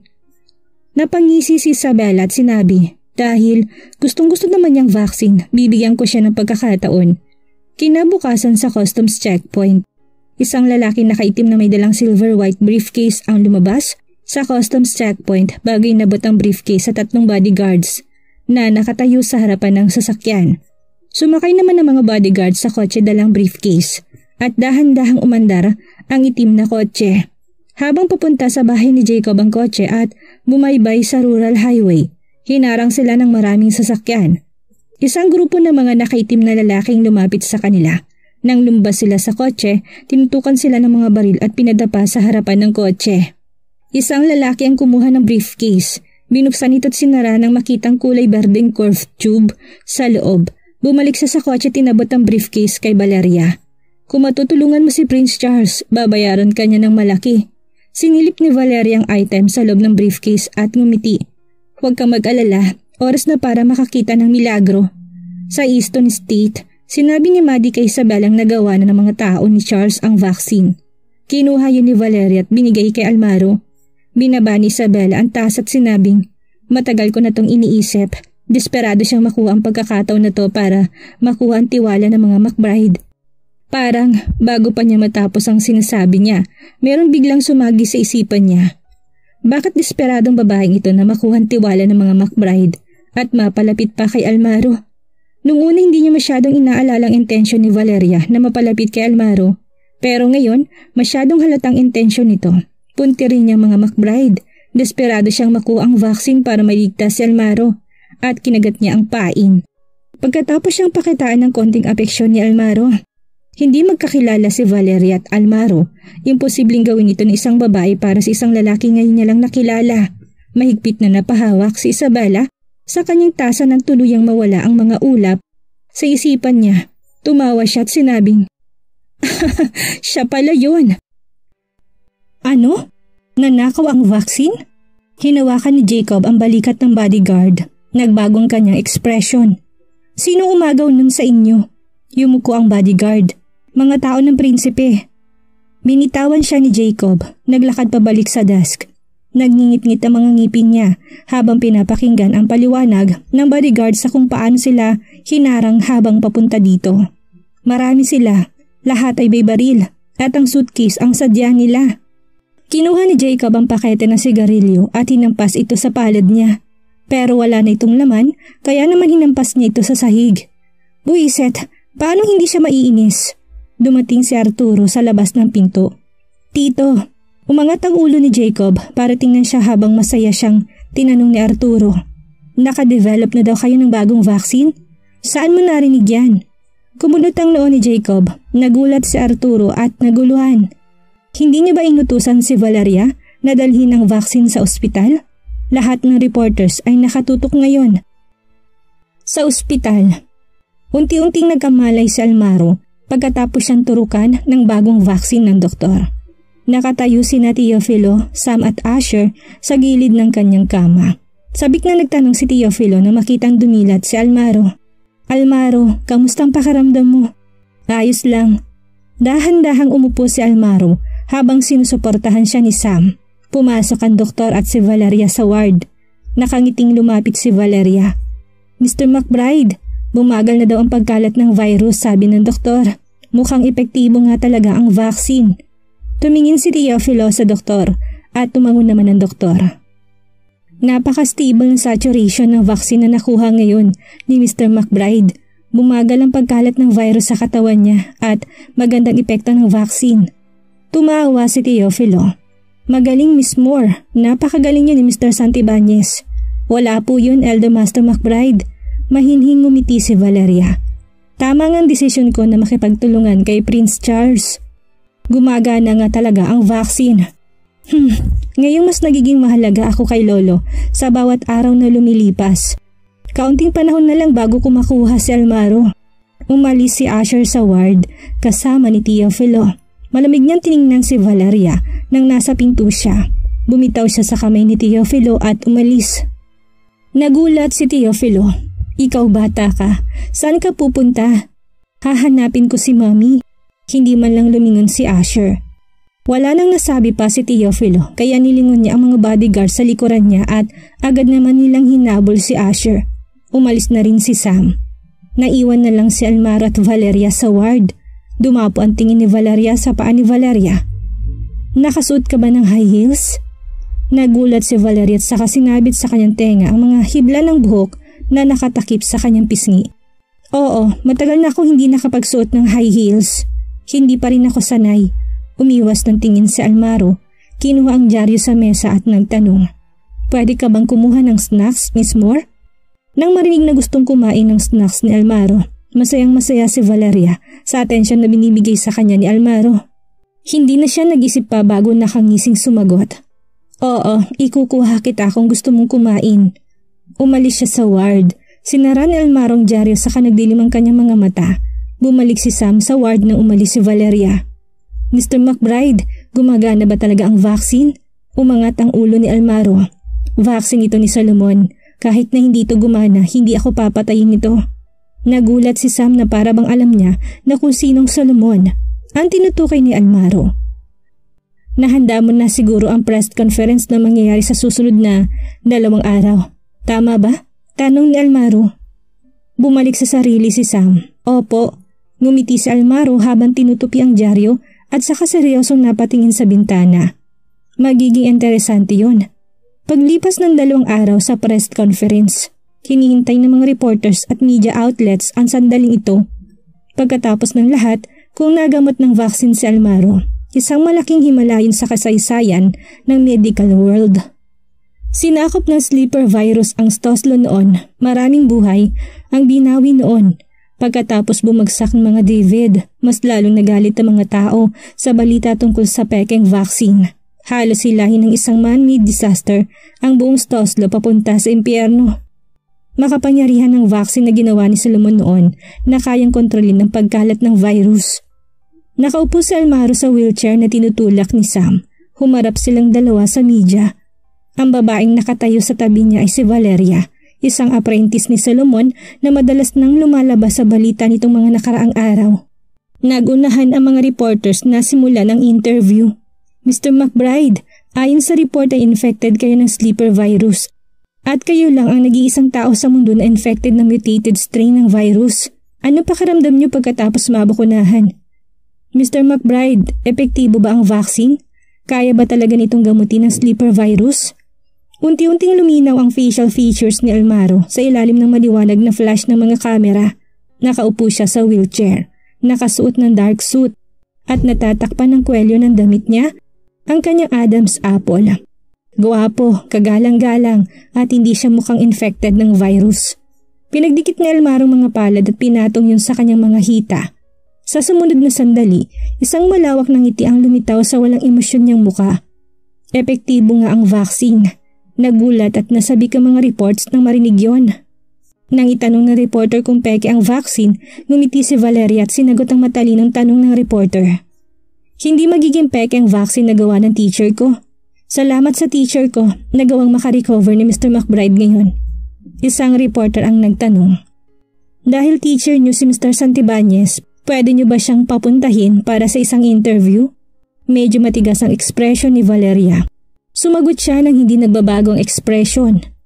Nakapokus ang teacher ko sa pag-aaral ng vaccine ngayon. Sa tingin ko ay hindi siya tatanggap ng anumang interviews.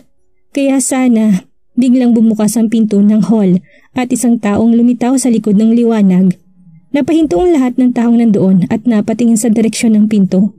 Ilang bodyguards ang nakasunod sa middle-aged na lalaki na pumasok sa kwarto. Bakit nandito si Mr. Herman? Siya si Mr. Herman ng Metropolis. Bihira lang siyang magpakita sa publiko. Pero nandito siya. Nagulat lahat ng reporters. Si Mr. Herman ang head ng Metropolis ng Morwich at malaki ang pagpapahalaga sa kanya ng royal family ng Morwich. Sa kanyang yaman, reputasyon at impluensya, katumbas na niya ang mga nobles. Nang makita siya ni Valeria, merong konting pagbabago sa kanyang ekspresyon. Hindi itong unang pagkakataon na nakaharap niya ang isang miyembro ng Metropolis. Alam niya kung gaano kahirap makaharap ang Metropolis. Kahit si Charles ay hindi nagpapadalos-dalos laban sa Metropolis lalo na't natalo ng anak ni Solomon si Judah. Nabasa kong balitang yun noon, ang anak nitong si Marigon na Herman ay nililigawan noon si Almaro. Pero tinanggihan ni Almaro, siguro dahil yun sa presensya ni Isabella. Ano naman kung buhay pa rin si Isabella? Kahit naapo siya ni Gonzalo de Lorja, hindi na nga kayang protektahan ng mga de Lorja ang sarili nila dahil hanggang ngayon ay hindi pa rin nakikita si Gonzalo. Bukod doon, divorce na sila ni Almaro. Anong laban niya sa akin kung pag-aagawan namin si Almaro? Ako nagbigay ng vaccine at nagligtas kay Almaro. Mas lalo lang akong papahalagahan ni Lolo ngayon. Basta kakampi ko si Almaro at Lolo, hindi ako matatakot kahit dumating pa si Jacob sa pintong yan. Dahan-dahan tumayo si Almaro mula sa pagkakaupo sa kanyang wheelchair at ikinagulat yun ng mga tao. Ang alam ng lahat ay nasa bingit na ng kamatayan noon si Almaro umaasa na lang sa wheelchair para makagalaw. Kaya niya nang tumayo ngayon. Posible bang gumagana talaga ang vaccine? Kaya ba nitong mabilis na pagalingin ang isang taong malapit ng mamatay? Huminto si Solomon sa harapan niya habang umiti naman si Almaro at nilahad ang kamay. It's nice to see you, Mr. Santibanez. Solomon Santibanez? Nagulat ang lahat ng reporters. Si Mr. Herman si Solomon Santibanez. Oh my God! Napakalaki ng balitang ito. Natulala si Valeria at napatitig siya kay Almaro. Paano niya nalaman na si Mr. Herman si Solomon? Nakipagkamay si Solomon kay Almaro. Marami ako narinig tungkol sa iyo Mr. McBride at matagal na katang gusto makita. Magaling kang ang binata. Hindi na nakapagtataka kung bakit obsessed sa'yo si Marigona. Nakangiti si Almaro nang lumingon kay Valeria. Hindi ba't si Mr. Santibanya ang teacher mo? Marami salamat ginawa mo na magkita kami. Nagbago mukha ni Valeria at lahat ng kamera sa kanya nakatutok. Siya ang apprentice ni Solomon at ginamit niyang vaccine para maligtas si Almaro. Dahil dito siya ang naging sentro ng atensyon ng press conference. Tiningnan ni Solomon si Valeria. Hindi ako tumatanggap ng sinamang apprentice kung pag-uusapan ng apprenticeship. Junior dapat kita. Apprentice ka ni Jacob Robles, hindi ba? Natulala ang mga reporter sa mga sinabi ni Solomon. Hindi ba't apprentice siya ni Solomon? Napakuyom ng mahigpit si Valeria at hindi niya napigilan ang pamutla ng mukha niya hindi pa rin niya maintindihan kung bakit nandito si Solomon. Hindi, hindi ko dapat hayaang paghinalaan nila ako. Tinignan niya si Solomon at nakangiting sinabi.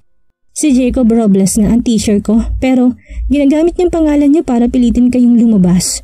Kailangan kong sabayan ang teacher ko. Tingnan ninyo, ang malaking pangalan ng nawala sa grid ay lumitaw na rin.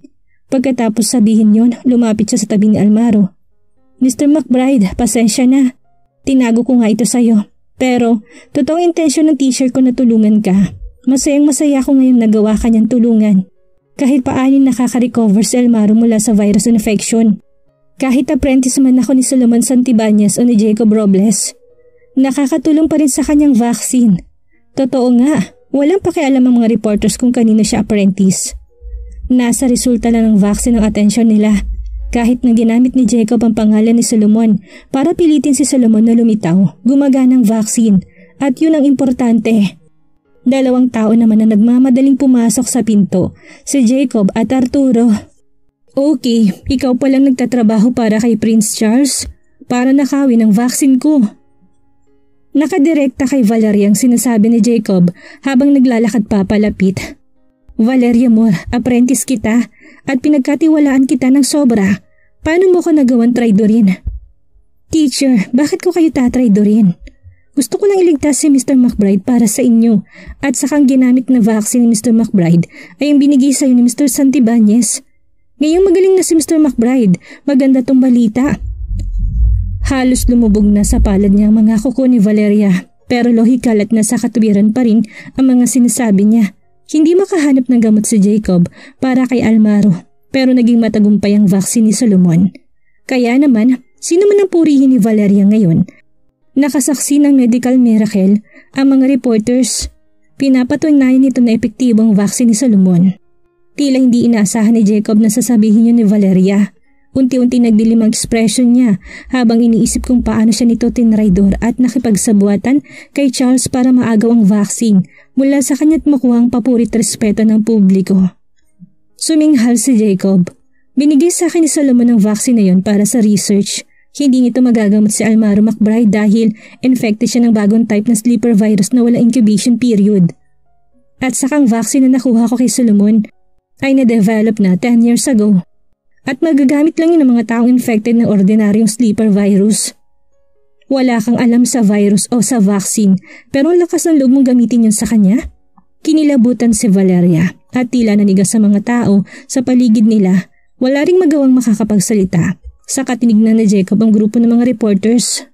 Bakit natin pinag-aralan ang antibodies, ang vaccine na na-develop ng mga David, ay may layunin na maabot ang anti-cancer effect at ma-improve ang human genes gamit ang virus para maiwasan ng ilang sakit. Isa yun sa idea na merong napakagandang objective pero sa kasamaang palad, nabigo ang mga David na nagdulot ng napakalaking sakuna sa populasyon ng mga tao. Ang pinag-aralan namin ay katulad din ng pinag-aralan ng mga David noong una. Ang tanging pinagkaiba lang namin sa mga David ay hindi kami kailanman gagamit ng human trial. Tiningnan ulit ni Jacob si Valeria nang sabihin yon. Tatlong taon ka nang natututot na kasunod sa akin. Sa tatlong taon na yon, hindi mo pa ba ito naintindihan? Nagbulungan ng mga reporters pagkatapos mabunyag ng virus research ng mga David. Ang tanging naisip lang ng publiko ay ang sakunang nangyari noon. Karamihan sa kanila'y nataranta, natatakot na muling mangyayari. Ang sakunang yun kaya naman napaka-importante sa kanila ng infection ni Almaro at epekto ng vaccine. Isang reporter ang nagtanong kay Solomon, Mr. Santibanyes, talaga bang walang silbi ang vaccine kay Mr. McBride? Umiling si Solomon. Nagingay ang mga reporters, nagsimula ulit umubos si Almaro at malala ang ubo niya ngayon. Agad siyang sinuportahan ni Sam pero agad na tumulong dugo mula sa palad ni Almaro. Natakot ang lahat ng reporters. Ang mga gwardya sa paligid ng press conference ay lumapit para palabasin sila. Huwag na kayong kumuha ng pictures. Tapos ng press conference. Napako si Valeria sa kinatatayuan niya. Kasing puti ng papel ang mukha niya habang pinapanood niyang tuloy-tuloy na umubo ng dugo si Almaro. Paano to nangyari? Malala ang side effects ng vaccine. Dalhin mo na siya sa ospital ngayon. Natatarantang sabi ni Solomon kay Sam, tumango si Sam at sinuportahan si Almaro. Bago sila umalis sa eksena kasamang iba, umalis din si Solomon. Hindi pinansin ni na Jacob at Arturo, si Valeria tagad na sumunod sa iba pa sa ospital. Hindi pinansin ni na Jacob at Arturo si Valeria at tagad na sumunod sa iba. Sa ospital, sinugod si Almaro sa intensive care unit. Walang ibang pwedeng pumasok bukod kay Jacob at Solomon. Pagkatapos malaman ni Teofil ang sitwasyon, mula kay Samin napaupo siya sa bench. Paano to nangyari? Sobra siyang nagtitiwala kay Valeria, kaya siya mismo nagturok ng vaccine kay Almaro. Hindi niya inaasahan na hindi lang hindi gagana ang vaccine pero meron din itong malalang side effects. Pinahama kong apo ko. Sumugod si Valeria pero huminto sa koridor. Napatingin na lang siya kay Theophil at sinabing, Elder Master McBride, hindi ko gustong ipahamak si Mr. McBride. Gusto ko lang siyang iligtas. Tama na. Irritable na si Teofilo dahil naloko siya at sinugod sa intensive care unit si Almaro dahil pinili niyang maniwala sa mga sinasabi ni Valeria nang walang pag-aalinlangan. Habang nakatingin kay Valeria ngayon, mas lalo pa siyang nainis. Pinagkatiwalaan kita ng sobra at itong ibabalik mo sa amin? Hinding hindi ko to palalampasin at kapag may nangyari sa apo ko, umalis ka na sa harap ko. Naniga si Valeria. Paano to nangyari? Narinig kong usapan ni na Solomon at Jacob. Malaki ang tsansa ko na magtagumpay basta mapasa kamay ko ang vaccine. Nawalan siya ng lakas. Saan siya nagkamali? Dumating si Isabella sa koridor kasama ni na Asher at Edward. Nagulat si Valeria na makitang silver suitcase na hawak-hawak ni Edward. Anong nangyayari? Pinapasok sila ng mga bodyguards. Lumabas ng intensive care unit si Solomon. Nakasuot siya ng protective clothing. Dala mo ba? Inabot ni Edward ang silver suitcase kay Solomon at dahan-dahan tumayo si Teofilo at tinignan sila. Kaya, kaya ba nitong maligtas si Almaro? Kinuha ni Solomon ang suitcase. Basta't handang maniwala si Elder Master McBride. Hindi na nagsalita si Teofilo, lalo na at muntik nang ikamatay na Almaro ang vaccine na hinayaan niyang iturok ni Valeria. Pero sa puntong ito, kailangan niyang maniwala kay Solomon kahit na ayaw niya. Pumasok si Solomon sa intensive care unit, dala ang suitcase. Si Valeria na hinarang ng mga bodyguards ay sinigawan sina Isabella at Edward. Plano niya to, hindi ba? Siguradong plano nila ito. Ninakaw kong vaccine nila bakit meron pa rin silang hawak na katulad nun? Plano nila to. Dahan-dahang lumingon si Isabella kay Valeria. Isang iti ang lumitaw sa mga sulok ng mga labi niya. Anong planong sinasabi mo? Nangalit ang mga ngipin ni Valeria. Isang type lang ng vaccine ang na-develop ni Solomon. Pero meron kang dalawang vials? Pega binigay mo sa akin. Ngayong wala na akong kontrol sa sitwasyon. Wala na akong pakaalam pa dahil walang silbi ang vaccine na nakuha ko. Peke ang vaccine na yon. At parte itong lahat ng plano nila. Ngumisi si Isabella. Sino nagsabi sa'yo na iisa lang ang vaccine? Hindi nakapagsalita si Valeria na para bang meron nakabara sa lalamunan niya. Ang vaccine na pinagtulungan yung nakawi ni Charles ay ang vaccine na ilang taon na na-develop ni Solomon. Nakakagamot nga ng sleeper virus ang vaccine na yun. Pero ordinaryong sleeper virus na may midterm na sintomas ang kayang gamutin nun. Pinagmasdan siya ni Isabel at kalmadong sinabi, Hindi ba't apprentice ka ni Jacob? Kinuhanan mo pa ng dugo si Almaro para sa testing. Professional si Jacob sa field na to. Kaya siguradong alam niyang hindi ordinaryong sleeper virus ang infection ni Almaro, hindi ba? Unti-unti namutla ang mukha ni Valeria. Sinabi nga ni Jacob na hindi infected si Almaro ng ordinaryong sleeper virus.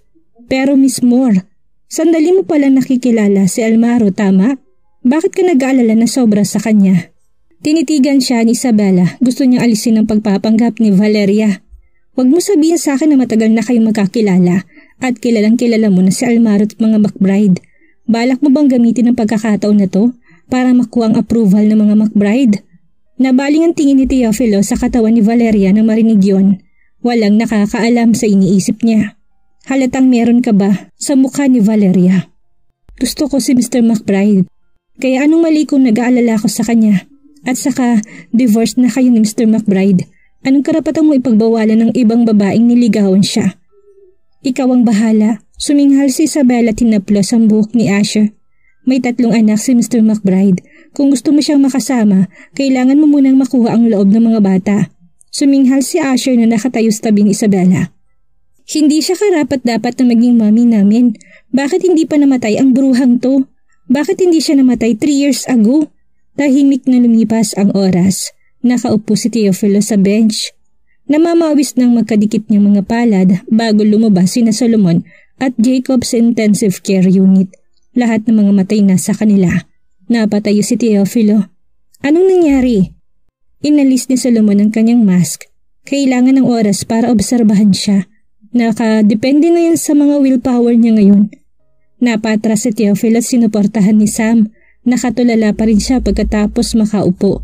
Sinabihan ni Solomon si Isabella na kausapin siya ng mag-isa sa koridor. Tinitigan siya ni Isabella. Dad, maapektuhan ba siya ng vaccine na una niya nakuha?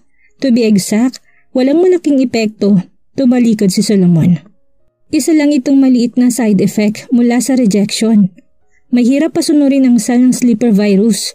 Nang iturok ang vaccine sa katawan niya, ang mga kumalat na cells ay magsisimula na maging active at pabibilisin ng metabolism. Hindi yun kakayanin ng katawan niya, pero hindi siya mamamatay. Natigilan si Isabel at napatikom ang mga labi. Kung alam niya lang na magdudulot ng malaking reaction ng vaccine dahil sa rejection, hindi siya sumugal. Pinagaan ni Solomon ang loob niya. Hindi mo kailangan magsisi Plano ko talagang ipagamit kay Jacob ang vaccine na yon para sa research. Kahit na hindi mo sinabihan si Edward na maghanda, dalawa pa rin ang vaccine na mapupunta sa kanya. Kahit na anumang type yon, walang negatibong epekto kay Almaro yon, pero hindi nagtagumpay si na Valeria at Charles. Pagkatapos umalis ni Solomon, mag-isang tumayo doon si Isabella hanggang sa may nagsalita. Hindi ko inaasahang ikaw ang nasa likod ng isyo ng vaccine. Hindi lumingon si Isabella pero alam niyang si Valeria yon. Lumakad si Valeria sa harapan niya at suminghal. Kapakanan lang ni Mr. McBride ang nasa isip ko. Pero ikaw na ex-wife niya ay sinusubukang ipasang lahat ng sisi sa akin? Wala ka ba talagang pakialam sa buhay niya? Ikaw ba? Walang pagbabago sa expression ni Isabella na tignan niya si Valeria. Tinurukan mo siya ng isang vaccine hindi mo naintindihan ang laman. Nagbagong expression ni Valeria. Dahil nangialam ka, nilapitan niya si Isabella. Kapag nalaman ni Elder Master McBride na ikaw ang dahilan kung bakit nasa sitwasyon na tong apo niya, sa tingin mo ba ay makakatakas ka? Malamig ang mga mata ni Valeria habang nananahimik si Isabella. Nalaman kung hindi ka gusto ni Elder Master McBride, divorce naman kayong dalawa, I suggest na huwag ka namang ialam. Oo nga pala, ngumiti si Valeria. Hindi galit sa akin si Mr. McBride, baka hindi kanya mahal. Kalmado siyang tinignan ni Isabella. Pagkatapos ng ilang sandali, Ngumiti si Isabella nang walang anumang tuwa. Kung ganun, congratulations Miss Moore. Tinatanggap kong blessing mo. Tinapik ni Valeria ang balikat niya, tumalikod at tumalis. Pinanood ni Isabella ang pag-alis niya. Nagdidilim ang kanyang mga mata. Sa ilang araw na nasa koma si Almaro, gumawa ng gulo ang kawalan ng bisa ng vaccine.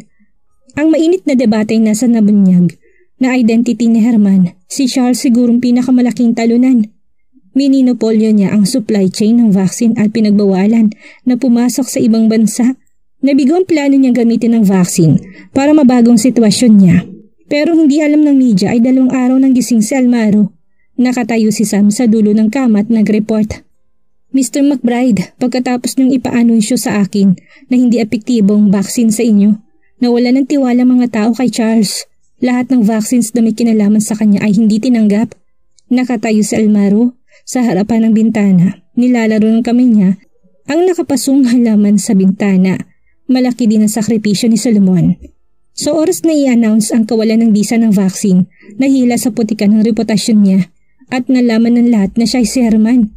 Mahigpit ang pagbabantay sa ospital, kaya hindi nakakapasok ang mga tao. Binayaran ng hospital staff para walang makaalam sa sitwasyon ni Almaro. Nawalan na ng kapangyarihan si Charles at pagkatapos maayos ni Adams ang mga problema, siya ang iboboto ng bagong presidente ng Stoslo kung wala na magiging problema pa. May sumagi sa isipan ni Sam. Oo nga pala, ilang araw na nagpupunta si Valeria para makita kayo. Hindi ko alam kung paano niya nalaman na si Miss Taylor ang nag-frame up sa kanya tungkol sa vaccine.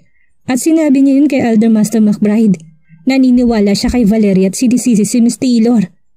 Tumigil si Almaro sa ginagawa niya at lumingon ng kaunti. Madilim at malungkot ang mga mata niya. Isang silver-white na kotse ang dahan-dahang bumabaybay sa yellow poplar forest.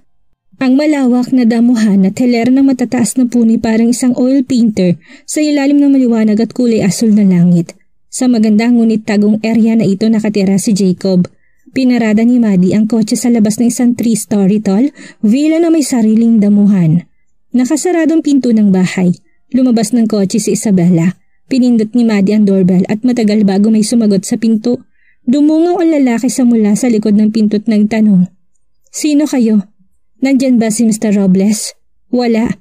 Biglang sinipa ni Maddie ang pinto nang isasara na sana ito ng lalaki. Pinunot ng lalaki ang isang baril para protektahan ang sarili pero agad siyang napahigaan ni Maddie sa sahig. Kinuha ang baril at tinutok sa ulo niya.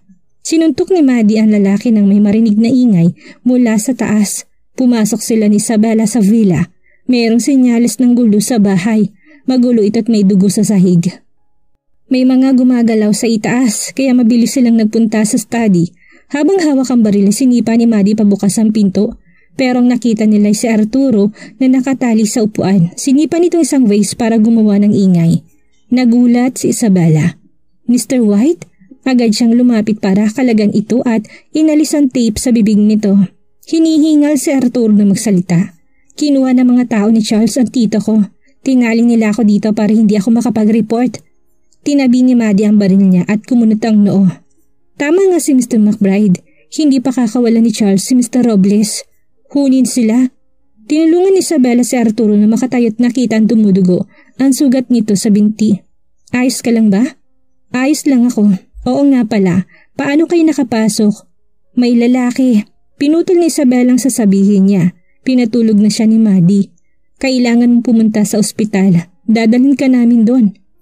Nagmaneho si Maddie papunta sa pinakamalapit na ospital sa lungsod. Mas lalo nang umutla si Arturo sa paglipas ng bawat minuto.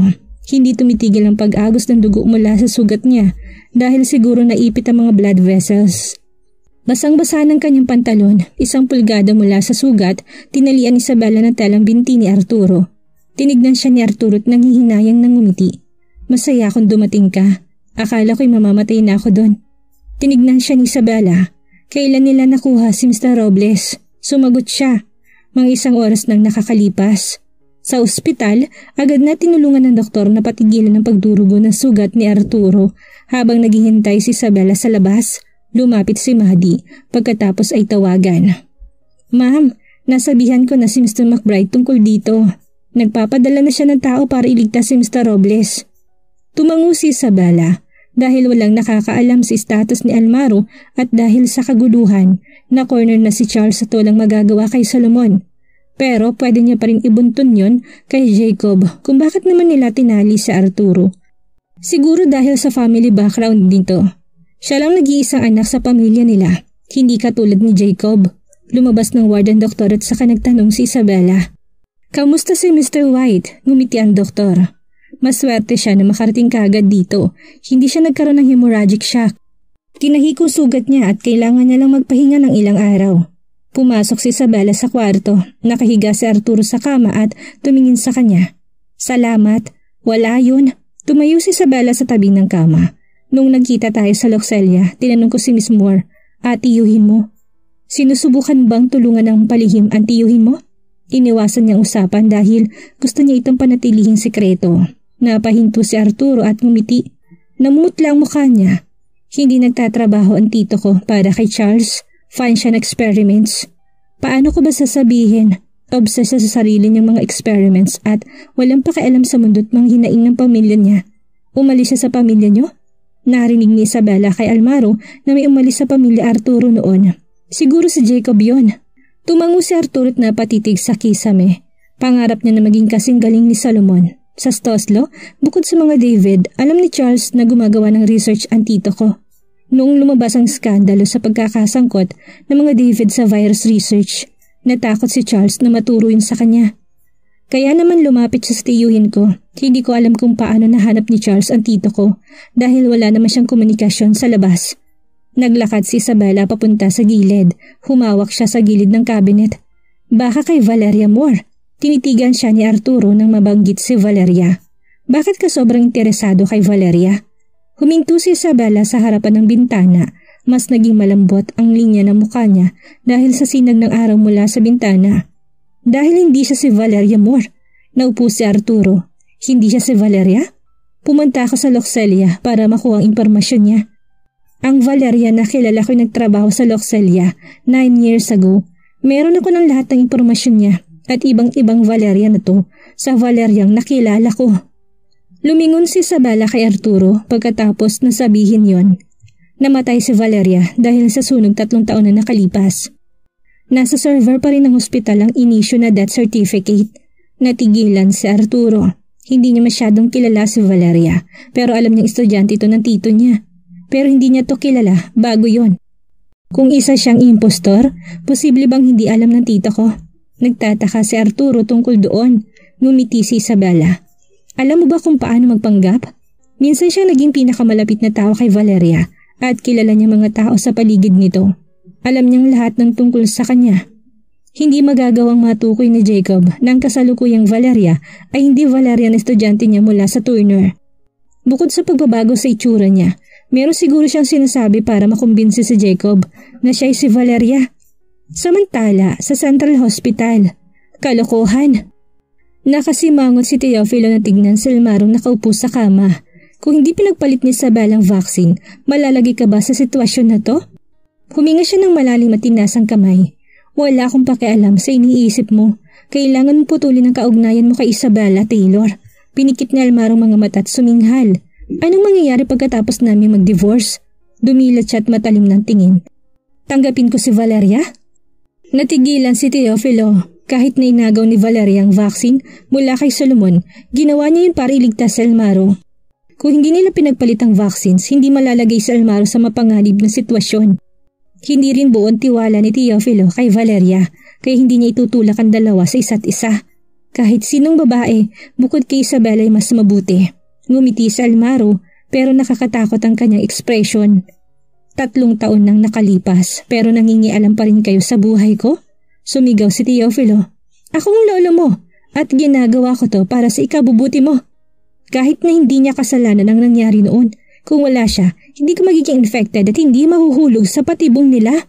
Alam niyang inosente si Isabella pero muntik na mamatay si Almaro simula nang dumating siya sa buhay niya. Naaawa siya sa nangyaring aksidente kay Isabella pero hindi dapat sila magsama. Hindi din dapat sila mag-usap pagkatapos ng divorce. Nagdilim ang mga mata ni Almaro pagkatapos ng maikling sandali, gumisi siya. Kung hindi dahil kay Isabella, baka patayin na ako. Sa tingin ninyo, bakit gugustuhin ni Solomon na tulungan ako? Natigilan si Teofilo at hindi sumagot. Suminghal ulit sa Almaro. Sa tingin niyo ay mga manipulative sila, pero kung hindi nila yun ginawa, nagtagumpay sana si Valeria o baka si Charles. Sumandal siya sa headboard. Tama nga siguro ang tatay ko. Hindi niya pinag-iisipan ang mga desisyon niyo. Sa ayaw niya man sa gusto, ang nangyari sa amin ni Isabella hindi lahat sa inyo. Anong sinasabi mong bata ka?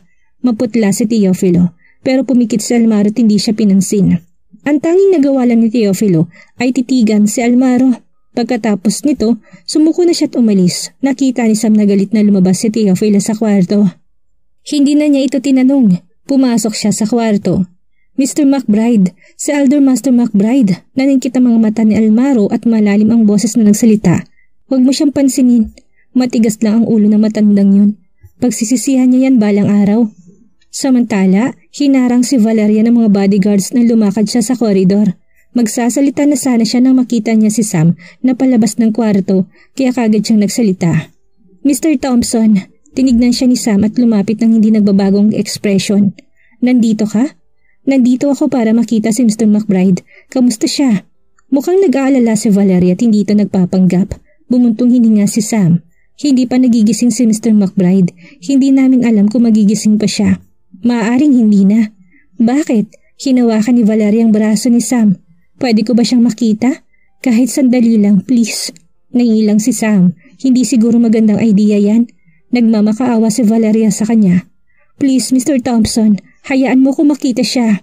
Hindi siya hinarangan ni Sam at sinabihan ng mga bodyguard na papasukin si Valeria. Mabilis siyang pumasok sa kwarto. Kumirot ang puso niya nang makita si Almaro nakaratay sa kama. Hindi niya kailanman naisip na patayin si Almaro. Hindi niya ito kailanman sasaktan at gusto niya lang itong mahalin kahit sandali. Kasalanan itong lahat ni Isabella sa pagpapalit niya ng vaccine at paglalagay kay Almaro sa sitwasyon na to. Ginawa ito ng babaeng yon. Dahan-dahang lumapit si Valeria sa kama Hawak-hawak niyang sarili niyang kama. Marahang bumukas ang nakatikom niyang mga labi. Almaro, nang makitang walang reaksyon, ang lalaki sa kama, naupo siya sa gilid ng kama at hinawakan ng malamig nitong kamay. Almaro, hindi ka pwedeng mamatay. Hindi ko gustong saktan ka. Gusto lang kitang iligtas. Nabasa ng luha ang mga mata ni Valeria kahit na sandaling oras lang niya nakasama si Almaro kahit na bilang Valeria alam niyang hindi galit si Almaro kay Valeria at magandang simula yun. Meron na rin siyang pagkakataon. I'm sorry Almaro, kasalanan ko to dahil itong lahat kay Isabella. Gusto niya akong i-frame at pinagpalit ang vaccine. Hindi ko talaga alam na malaking epekto nun sa'yo Almaro. Ayaw kong mamatay ka. Hinawakan ni Valeria ang mukha ni Almaro. Anong ginagawa mo? Isang boses ang narinig mula sa labas na ikinagulat ni Valeria. Tumalikod siya at nakita si Isabella na nakatayo sa pintuan at nakatingin sa kanya. Tiningnan ni Valeria si Almaro sa tumayo. Seryosong kanyang ekspresyon. Pinagpalit mong vaccines, ikaw ang dahilan kung bakit siya ganito. Bakit ang lakas pa rin ang loob mo na magpakita dito? Dahan-dahan sumagot si Isabella. Tinrider mo si Mr. Robles at nakipagtulungan ka kay Charles. Gusto lang kitang pigilan. Lumapit si Isabella kay Valeria. Sigurado ako na alam mong nangyayari sa pagitan ni Charles at ng mga McBride. Bakit ko hahayaang makuha ni Charles ang pagkakataong ito? Nangalit ang mga ngipin ni Valeria. Kung ganun, biro lang ang turing mo sa buhay ni Mr. McBride. Mas lumapit si Isabel at saka ngumiti ng makahulugan. Hindi ba't ikaw ang dahilan kung bakit naging affected ng virus si Almaro? Anong ibig mo sabihin? Nagbagong ekspresyon ni Valeria at sinubukan niyang umiwas sa eye contact. Bakit ito sinasabi ni Isabella sa kanya? Tamang rinig mo. Pinatong ni Isabel ang kamay sa balikat ni Valeria at ngumiti. Bakit ka natataranta? May tinatago ka ba? Nakakuyom ang mga kamao ni Valeria dahil masamang kutob niya. May nalaman ba si Isabella? Imposible. Wala siyang iniwang bakas kaya papaano niya malalaman? Alam mo ba, meron akong kilalang babae sa Loxelia 9 years ago. Valeria Mordin ang pangalan niya. Kinilabutan si Valeria sa mga salitang yon at namutlang mga daliri niya. Tumabi sa kanya si Isabella. Nagtataka ako, hindi lang nakatayo dito ngayon si Valeria na namatay na sa sunog 3 years ago. Pero hindi niya rin ako nakikilala. Kung hindi ka namatay sa sunog na yon, sino? Wala akong idea. Nasa ospital na ako nung nagkamalay ako. Malalang pagkakasunog ng mukha ko, kaya ako nagpa-plastic surgery. Marami akong hindi naaalala. Sinusubukan ni Valeria na kumalma. Hindi siya pwedeng mahulog sa patibong na to. Talaga? Lumingon si Isabella para titigan siya at saka tumaas ang kilay. Pwede mo palitan ang mukha mo pero wala akong makitang anumang bakas na Valeria sa'yo. Nagtataka talaga ako kung paano ka naging ibang tao sa loob ng tatlong taon. Meron din ako nagtatanda ang babae dahil sa katawan mo. Nagsimulang pagpawisan si Valeria. Tumayo si Isabella sa tabi niya at dalawang mga salita ang lumutang papunta sa kanyang mga tenga. Rosita, Heronimo. Parang bangungot ang mga salitang yun sa kanya. Minumulto siya, hindi siya makatakas, habang buhay na nakadugtong ang pagkataong nakatago sa loob ng katawan niya. Kaya naman nanigas ang katawan niya nang banggitin ni Isabel ang pangalan niya at nagsimula siyang mahirapan na huminga. Hindi, hindi ako si Rosita Heronimo. Ako si Valeria Moore. Paulit-ulit na sinasabi yun ni Valeria sa puso niya. Paulit-ulit siya si Valeria Moore. Lumingon siya at pinantayan ng tingin ni Isabella. Nakangiti niyang sinabi. Pasensya na, wala akong idea kung sino siya. Kahit hindi ko alam kung anong problema mo sa akin, anong gusto mong mangyari sa ginagawa mo sa akin. Gusto ko lang sabihin sa'yo na ang gusto ko lang ay kakabuti ni Mr. McBride. Ang isang sampal ang dumapo sa mukha ni Valeria, dahilan para tumabingi ang mukha niya. Sandali siyang natigilan at sa kagalit na sumigaw. Ang lakas ng loob mo na sampalin ako. Para magising ka. At anong sabi mo? Gusto mo lang ikabubuti niya? Ha, wag mo akong patawanin Valeria. Oh wait, Rosita. Sabi ni Isabella sabay himas ng kanyang kamay. Pagkatapos tiningnan niya si Valeria na puno ng galit gulat at kasamaan ng mukha. Ano? Valeria, Isabella, huwag kang hangal at huwag mo akong tingnan ng ganyan. Tinaas ni Valeria ang kamay dahil gusto niya sanang gantihan ng sampal si Isabella. Tumayo lang doon si Isabella at diretsong nakatingin sa kanya. Bago pa umabot sa mukha ni Isabella ang kamay niya, hinila ni Maddie ang braso niya at pinalhod siya sa sahig. Sumigaw siya. Ang kapal ng mukha mo Isabella. Anong problema? Hindi ka na magpapanggap? Lumapit si Isabel at pinagmasdan si Valeria. May maliit na ngiti sa kanyang mukha. Isang beses lang kitang sinampal pero hindi ka na makatiis. Umiwas ng tingin si Valeria. Kahit na sobra-sobrang galit niya ngayon, nilunok niya yon at nangangalit na sinabi, Mas mabuting pakawalan mo na ako ngayon. Kung hindi, sasabihin ko to kay Mr. McBride. At ipapakita ko sa kanyang totoo mong kulay. Oo ba? Bibigyan kita ng pagkakataon na sabihin sa kanya. Tumayo ng diretso si Isabel at lumapit sa kama ni Almaro. Umupo siya at sinabing, Gising, hanggang kailan ka magpapanggap na tulog o gusto mong halikan kita para magising ka? Huwag mo sabihing mag-aalala sleeping beauty tayo.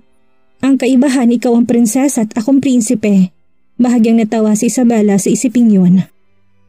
Bahagyang kumurba ang mga labi ni Almaro bago siya dumilat para tingnan si Isabella Mukhang nagkakatuwaan kayo. Mr. McBride? Natigilan si Valeria. Dahan-dahang tumayo si Almaro mula sa kama. Unti-unting nawala ang ngiti sa mukha niya at napalitan na nakakatakot na lamig. Hindi mo na ako tatawaging Almaro? Kasing puti ng papel ang mukha ni Valeria at natagalan bago niya maintindihan ang lahat. Tiningnan niya si Almaro at hindi makapaniwala. Bakit? Kung nagpapanggap lang siyang natutulog, ibig sabihin ba ay narinig nito lahat ng sinabi niya kanina? Marahang pinagpag ni Almaro ang hospital gown niya at walang emosyong sumagot. Alam ko nang hindi ikaw ang totoong Valeria simula noong lumapit ka sa akin bilang apprentice ni Solomon. Napakagat ng labi si Valeria, nanginginig ang buo niyang katawan na para bang nawala ang lahat ng lakas niya. Kung ganon, sinusubukan mo lang ako simula pa noong una? Tanong niya. Tama ka, sabi ni Almaro. Malamig ang mukha niya. Akala mo ba ay interesado ako sa'yo dahil lang nagbago ka ng mukha? Pakiramdam ni Valeria gumuho ang buong mundo niya. Alam niya na pala simula noong una at sinusubukan niya lang ako. Ngayon niya lang napagtanto kung bakit gusto niyang pagsuotin ng high heels ni Almaro at kuhanan siya ng pagkain. Yun pala ay sinusubukan lang siya nito at kinukumpirmang kanyang pagkatao. Mayroong sandali na inakala niyang nagustuhan na talaga siya ni Almaro. Naniwala siyang meron siyang pagkakataon. Pagkatapos ng lahat, divorce na ito kay Isabella. Pero lahat ng sinabi nito, sa loob ng kotse ay kasinungalingan. Gusto lang siya nitong paniwalaan na may pagkakataon siya ulit sa kanya. Tama, kaya nitong isakripisyo ang sariling buhay at sumalo ng bala para kay Isabella noon. Bakit magkakaroon ng pagkakataon na magbago ang nararamdaman niya paglipas ng tatlong taon. Ang tanga ko talaga. Umangat ang ulo ni Valerie at malakas na tumawa. Nagsisinungaling kayong lahat sa akin? Bakit mo nagawang samantalahin ang nararamdaman ko, Almaro? Sinubukan niyang tumayo pero hindi siya binigyan ng pagkakataon ni Maddie. Habang naniningkit ang mga mata, sinabi ni Almaro, Masyadong cheap ang nararamdaman mo. Sa ginawa mo 3 years ago, naisip mo na dapat ang mangyayari sa'yo Anong mangyayari sa akin? Mas lalong lumaki ang galit sa mga mata ni Valeria habang sinasabi, Hindi ba dapat mamatay si Isabella? Bakit ako matatorture ni Judah kung hindi ako pinagterian Isabella noon? Nasirang mukha ko dahil doon. Nasirang ekspresyon ni Isabella, sabi niya. Naalala kong binigyan kita ng pagkakataon umaming tama? Hindi nakaimik si Rosita. Tumayo si Isabella at huminto sa harapan ni Rosita. Tiningnan niya ito't saka nagpatuloy. Rosita, alam kong ayaw mong makipagtulungan kay Judah noon. Binigyan kita ng pagkakataon pero hindi mo yun pinahalagahan. Bakit ako magpaplano na masama laban sa'yo? Dahil kasali ka sa plano ni Judah, ikaw ang humila ng gatilyo. Ikaw ang dumukot sa akin at ang dahilan kung bakit nahulog si Almaro sa patibong ni Judah. At ngayon, sinasabi mong mahal mo siya? Pinisil niya ang baba ni Rosita at sinabing, Kung mahal mo talaga si Almaro, hindi mo siya ilalagay sa kapahamakan o panoorin na mamamatay ang nanay niya noon. Naliit ang mga mata ni Rosita at pakiramdam niya ay umiikot ang kanyang kalamnan. Nagpatuloy si Isabella. Alam mo ba nang hindi mo pagligtas at pagtatago mo ng impormasyon tungkol sa nanay ni Almaro ang dahilan kung bakit siya nawala ng ina? Kaya bakit iniisip mong dapat kang tanggapin ng mga McBride at ni Almaro? Si Rosita nalantad na ang totoong pagkatao ay hindi na makapagpanggap pang si Valeria. Nagsimulan tumulo ang mga luha sa pisngi ni Rosita habang nakapikit ang mga mata sa lungkot. Ang kaduwagan niya noon ang dahilan kung bakit siya nasa ganitong sitwasyon. Nawalan sila ng oras para iligtas ang nanay ni Almaro.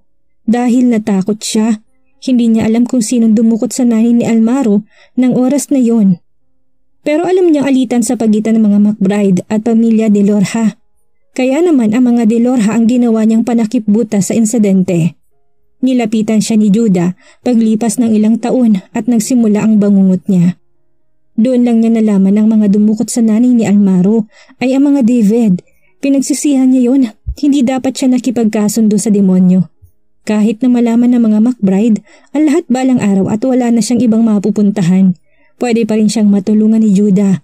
Inakala niya pang obses si Judah sa katawan niya pero nagkamali siya. Isa itong halimaw, mas malupit sa sino mang nakilala niya.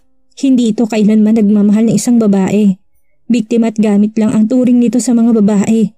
Wala siyang ibang naramdaman sa torture ni Judah sa kanya kung hindi sakit. Sapat na ang torture sa kanya ni Judah 3 years ago. Kaya tumakas siya at naging si Valeria. Almaro, hindi ko talaga sinasadya. Ayaw ko saktan ka. Sobra kong pinagsisisihan ang nangyari sa nanay mo na natakot lang ako na sobra. Mabilis na paliwanag ni Rosita. Nag-alala ko na sisisihin mo ko. Nilolot ng tatay mo. Kaya, kaya pinasa mong lahat ng sisi sa pamilya de Lorha? Mahina ang sagot ni Isabella. Pinutol niyang sinasabi ni Rosita. Dahil sa pagiging makasarili mo, kaya nagamit ng mga taong yun ang mga Delorha ng maraming taon. Sa tingin mo ba talaga inosente ka? Manahimik ka! Sigaw ni Rosita. Balot ng galit ang boses niya. Ginamit ng mga taong yun ang pamilya de Lorha. Wala akong pakialam.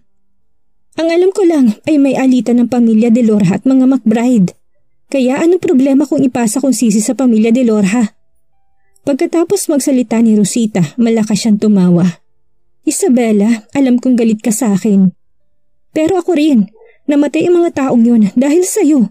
Si Loriana, mga magulang niya, pati ang tatay mo. Isipin mo Isabella, kung namatay ka, wala sa kanilang dapat mamamatay.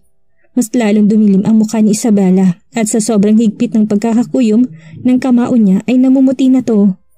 Nakatayo si Sam sa labas ng pinto. Kung ganon, itong dahilan kaya mo pinatay ang kapatid ko? Natulala sandali si Rosita at saka siya sumigaw na para bang nawawala sa sarili. Hindi ko to kasalanan. Walang nag-utos sa kanya na protektahan ng bruhang ito. Kung hindi niya sinusundan ng bruhang ito, hindi siya mamamatay. Isang katawan ng mabilis na lumagpas kay Isabella bago pa siya makakilos. Sa isang kisap mata ay lumipad si Rosita sa kwarto. Malutong ang tunog nang tumama siya sa kanto ng mesa. Napaungol siya bago bumagsak sa sahig. Ang lahat ng bote sa ibabaw ng mesa.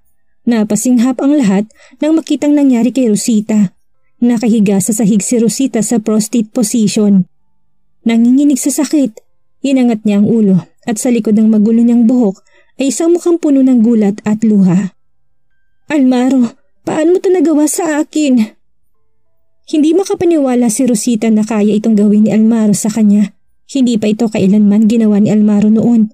Pero sa sandaling ito, wala siyang ibang nakita kung hindi galit, lamig at kawalang awa sa mukha nito. Magaang parusa lang ito sa mga sinabi mo. Malamig ang titig ni Almaro sa kanya. Papatayin kita ngayon kung pwede lang. Papatayin ako? Kumirot ang puso ni Rosita at nagsimula itong manginig. Pagkatapos parang nawawala siya sa sariling umiyak. Ano problema kung tatawagin ko siyang bruha? Nasasaktan ka ba? Almaro, kung hindi dahil sa lolo ko noon, hindi makakarating ang mga McBride sa kinatatayuan niyo ngayon. Hirap na tumayo si Rosita mula sa sahig. Pulang-pula mga mata niya. Merong nababaliw na ngisi sa mukha niya. Gusto mo akong patayin? Gawin mo na ngayon. Patayin mo ako. Ngayon na. Gusto kong malaman ng lahat na walang mga utang na loob ang mga McBride. Malamig na tumawa si Almaro. Baka gumana yan sa lolo ko. Pero sayang, hindi yan gagana sa akin. Nanginig si Rosita at hindi nakaimik. Wala akong pakialam kung sino ka. Dahil sinagad mo ko, hindi kita basta na pakakawalan. Lumingon si Almaro dahil nandidiri siya sa itsura ni Rosita. Sam, ipakuha mo siya. Gawin mo kung anong gusto mong gawin sa kanya. Huwag kang maging magaan. Dahil sa pagkamatay ng kapatid niya at sa mga sinabi ni Rosita, wala na anumang awa si Sam kay Rosita, tanging pandidiri na lang. Kinaway niya ang kamay at dalawang bodyguards ang pumasok sa ward. Hinawakan nila si Rosita dahilan para magsisigaw ang babae. Almaro, anong ginagawa mo? Hindi mo to pwedeng gawin sa akin. Hindi pwede. Pero hindi siya pinansin ni Almaro tinayaan ng dalawang bodyguards na dalhin si Rosita. Matagal na napako si Isabella sa kinatatayuan niya bago siya lumingon kay Almaro. Nakatalikod ito sa kanya pero nararamdaman niya ang galit nito sa mga sinabi ni Rosita. Naisip niya na kung anong mangyayari kay Rosita pagkatapos bumagsak sa mga kamay ni Almaro. Puno ng dugo ng ibang taong mga kamay ni Rosita at higit pa sa kamatayan ang karapat dapat sa kanya. Pero kaya bang punuan ng pagkamatay ni Rosita ang galit sa puso niya? Kung hindi dahil sa ginawa nilang aksidente ni Judah, ang tatay niya, si Chelsea at pati ang baby niya ay hindi dapat namatay sa aksidenteng yun. Ayaw niyang mamatay si Rosita. Gusto niyang mabuhay ito na parang patay. Bella, tinawag siya ni Almaro. Sinubukan siyang ibalik sa realidad. Umangat ang ulo ni Isabella at tumingin kay Almaro. Huminto siya sa harapan ni Isabella at hinaplos ang pisngin nito. Pwede mong gawin ko anong gusto mo. Natigilan si Isabella pagkatapos ngumiti siya. Hindi ka ba nag-aalala na mapatay ko siya? Tumawa si Almaro at sumagot. Alam kong hindi mo siya hahayaang mamatay na lang. Kinulong si Rosita sa isang kwartong kaunti lang ang liwanag. May ilang bodyguards na nagbabantay sa labas ng kwarto at wala itong laman kung hindi isang kama.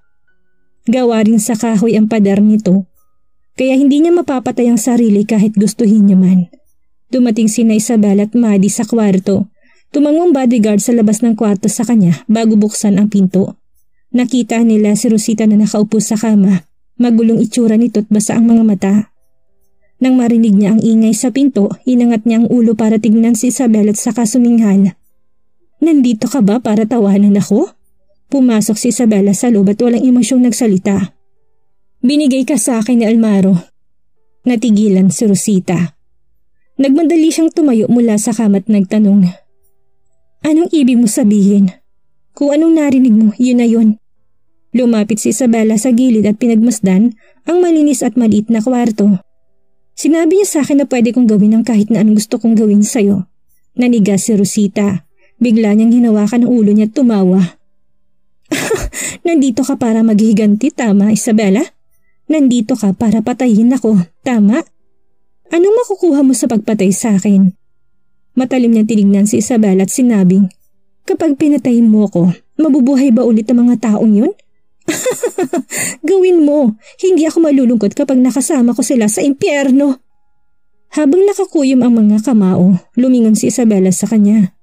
Sino nagsabi sa'yo na may karapatan kang bumaba sa impyerno at makasama sila? Sa madaling salita, hindi mo ko kayang patayin, sabi ni Rosita sabay kibit balikat.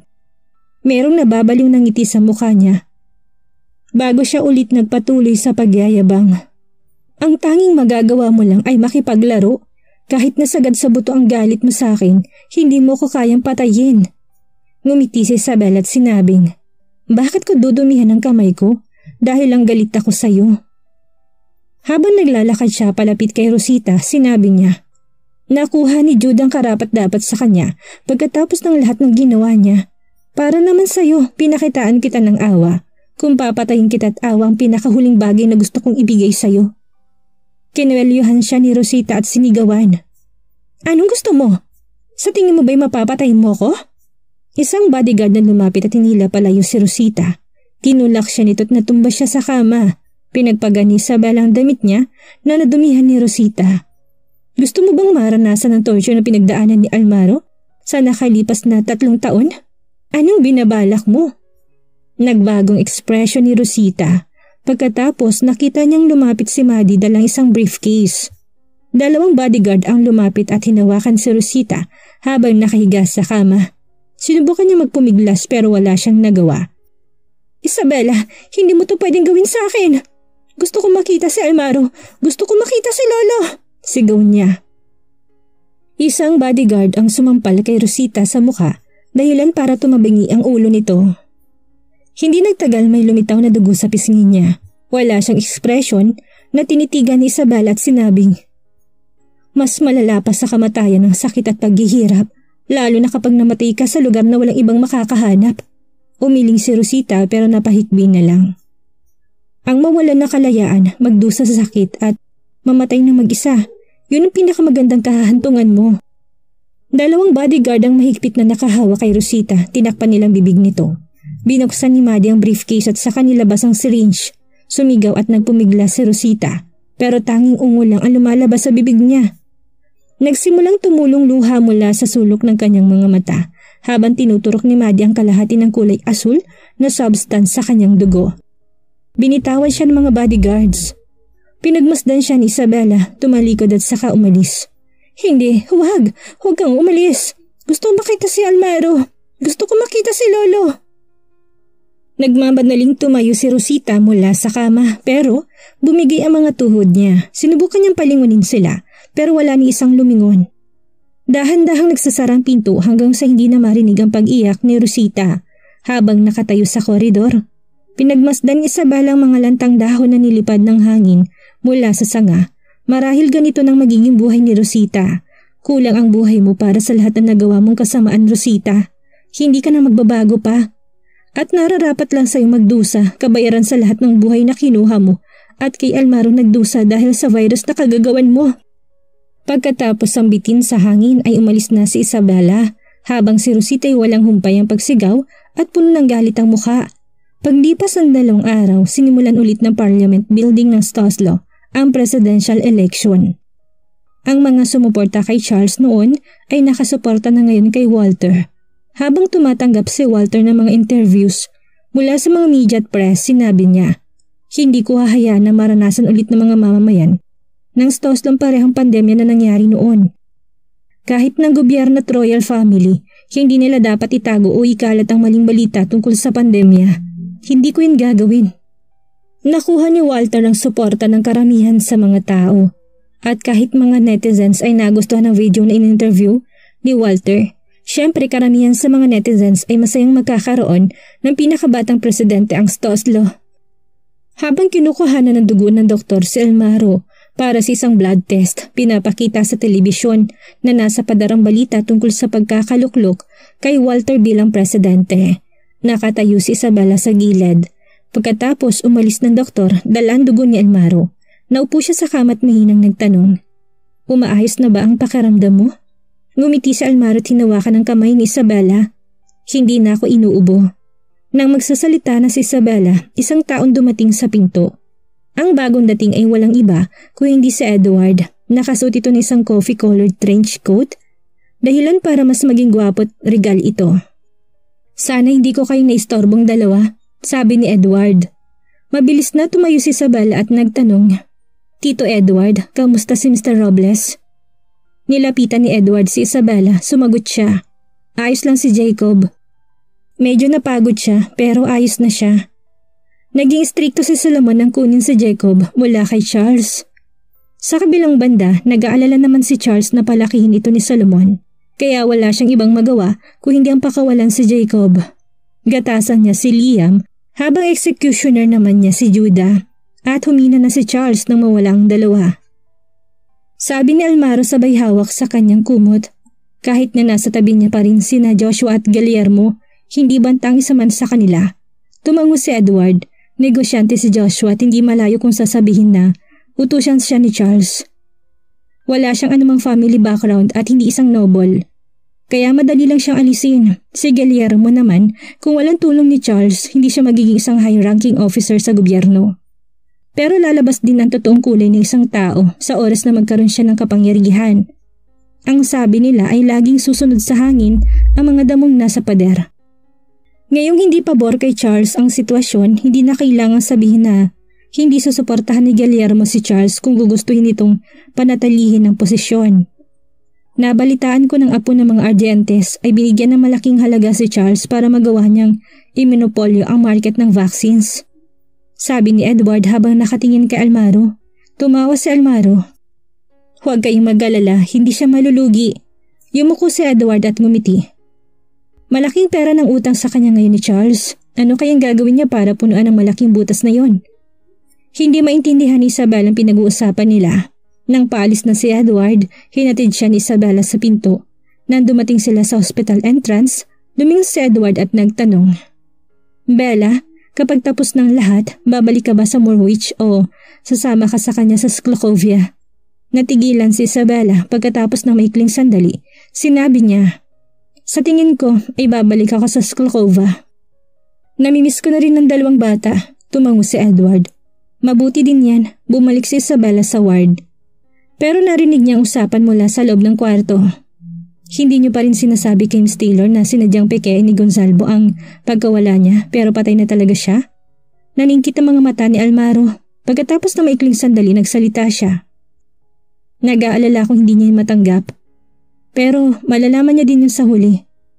Pagkatapos magsalita, tumalikod si Almaro at nagulat nang makita si Isabella na nakatayo sa pinto Tumalikod siya at tinawag ito. Bella? Tinitigan siya ni Isabella. Kalmadong kanyang mukha. Matagal mo nang alam? Lumabas ng ward ang bodyguard. Iniwan silang dalawa sa loob. Lumapit si Almaro kay Isabella. Hinawakan ng mga balikat nito at mahinang sinabi. Pasensya na Bella. Kamakailan ko lang din nalaman. Mahigpit na tumikom ang mga labi ni Isabella at napayuko. Hinawakan ni Almaro mga braso niya at niyakap ng mahigpit. Pagkatapos niyang halikan ng tuktok ng ulo ni Isabella, nagsalita siya. Bella, magtiwala ka sa akin. Ito lang ang bagay na hindi ko sinabi sa'yo. Ngayon ko lang din nalaman na planado ng lolo mong pagkawala niya para lituhin ng mga taong yun.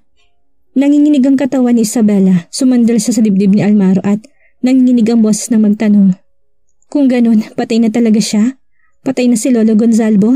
Mahigpit na hinawakan ni Almaro ang kamay niya, pero hindi niya alam kung paano sasagutin ang tanong na yon. Alam niyang baka hindi nito matanggap ang resulta. Tinulak siya ni Isabella. Malungkot ang kanyang mukha at basa ng luha ang kanyang mga mata. Nasaan ang lolo ko? Natigilan si Elmaro pagkatapos ng ilang sandali, pinunasan niya mga luha sa gilid ng mga mata ni Isabella gamit ang kanyang daliri bago sumagot.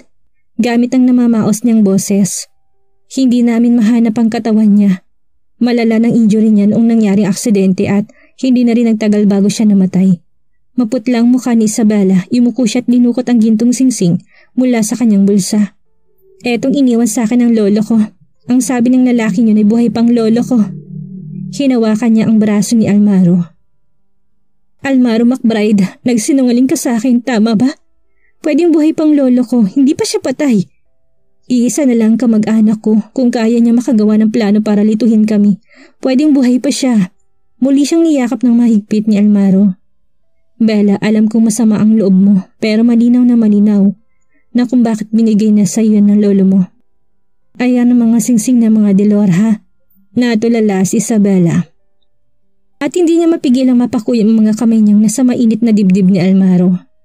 Tama, bakit ipapasa sa akin ni Lolong Singsing na kumakatawan sa status ng patriarch o matriarch ng mga Delor ha? Dahil gusto niyang manahin kong identity niya. Hindi alam ni Isabella kung bakit siya nalulungkot Kahit na wala siya masyadong kontak sa lolo niya sa nagdaang tatlong taon, magkadugo pa rin sila. Lolo niya ito, kadugo niya rin ito bukod sa kanyang ama. Madilim ang langit sa labas ng bintana. At medyo madilim din ang mga ilaw sa loob ng bahay. Nakayakap si Almaro kay Isabella mula sa likuran. Nakapatong ang baba niya sa ulo nito habang hawak-hawak ang malambot nitong kamay. Saka siya nagsalita gamit ang namamaos na boses. Bella? Ha? Wala siglang sagot ni Isabella habang nakatitig lang sa labas ng bintana. Sasamahan kita dito. Tinaas ni Almarong itim na buhok ni Isabella tinalikan ang likod ng tenga nito. Uuwi tayo kapag naayos na natin ang mga bagay-bagay dito. Sobra ka nang namimiss ng mga bata. Tumalikod si Isabella tumarap sa kanya. Anong pagkataong babalikan ko kapag sumama ako sa'yo? Tumawa si Almaro. Siyempre, babalik ka bilang asawa ko. May hinang suminghal si Isabella. Alam ng lahat ng tao sa Sklokova na nakipag-divorce ka sa akin. Hindi ba't nakakahiya kung kasama mo kung ibabalik? Nasa harapan ni Isabella matangkad at malapad na katawan ni Almaro. Saka siya hinalikan ito. Sasabihin ko na ako ang nagmakaawa sa'yo na bumalik. Saka siyang umisi. Wala akong pakialam kung nakakahiyaman yun. Sa araw na lumabas si Almaro sa ospital, naghihintay mga reporters sa kanya sa entrance. Sa takot na madumog, si Isabella ng mga reporters mahigpit siyang hinawakan ni Almaro. Sabay silang naglakad at pinrotektahan niya ito gamit ang kanyang katawan. Ang tinanong lang ng mga reporters ay ang tungkol sa kondisyon niya at walang tinanong tungkol kay Isabella. Sa mga pictures at video recordings, mukhang sapat ang naging oras ni Almaro para makapagpahinga. Maganda ang kanyang kulay at mapula-pula. Pagkatapos nito, Dinala niya si Isabella papunta sa kotse matapos mahina akong sagutin ng mga tanong ng mga reporters. Niluwagan ni Isabella ang kwelyo niya pagkapasok sa sasakyan at namula siya sa halatang halatang manghihiki sa leeg niya. Nakita ni Almaro na nilabas ni Isabella ang liquid foundation at concealer sa bag nito para takpan ng mga hikis, ngumisi siya. Anong dapat mong takpan? Tinignan siya ng masama ni Isabella at saka sinabing, hindi kaya magpigil ng brutal mong mga labi.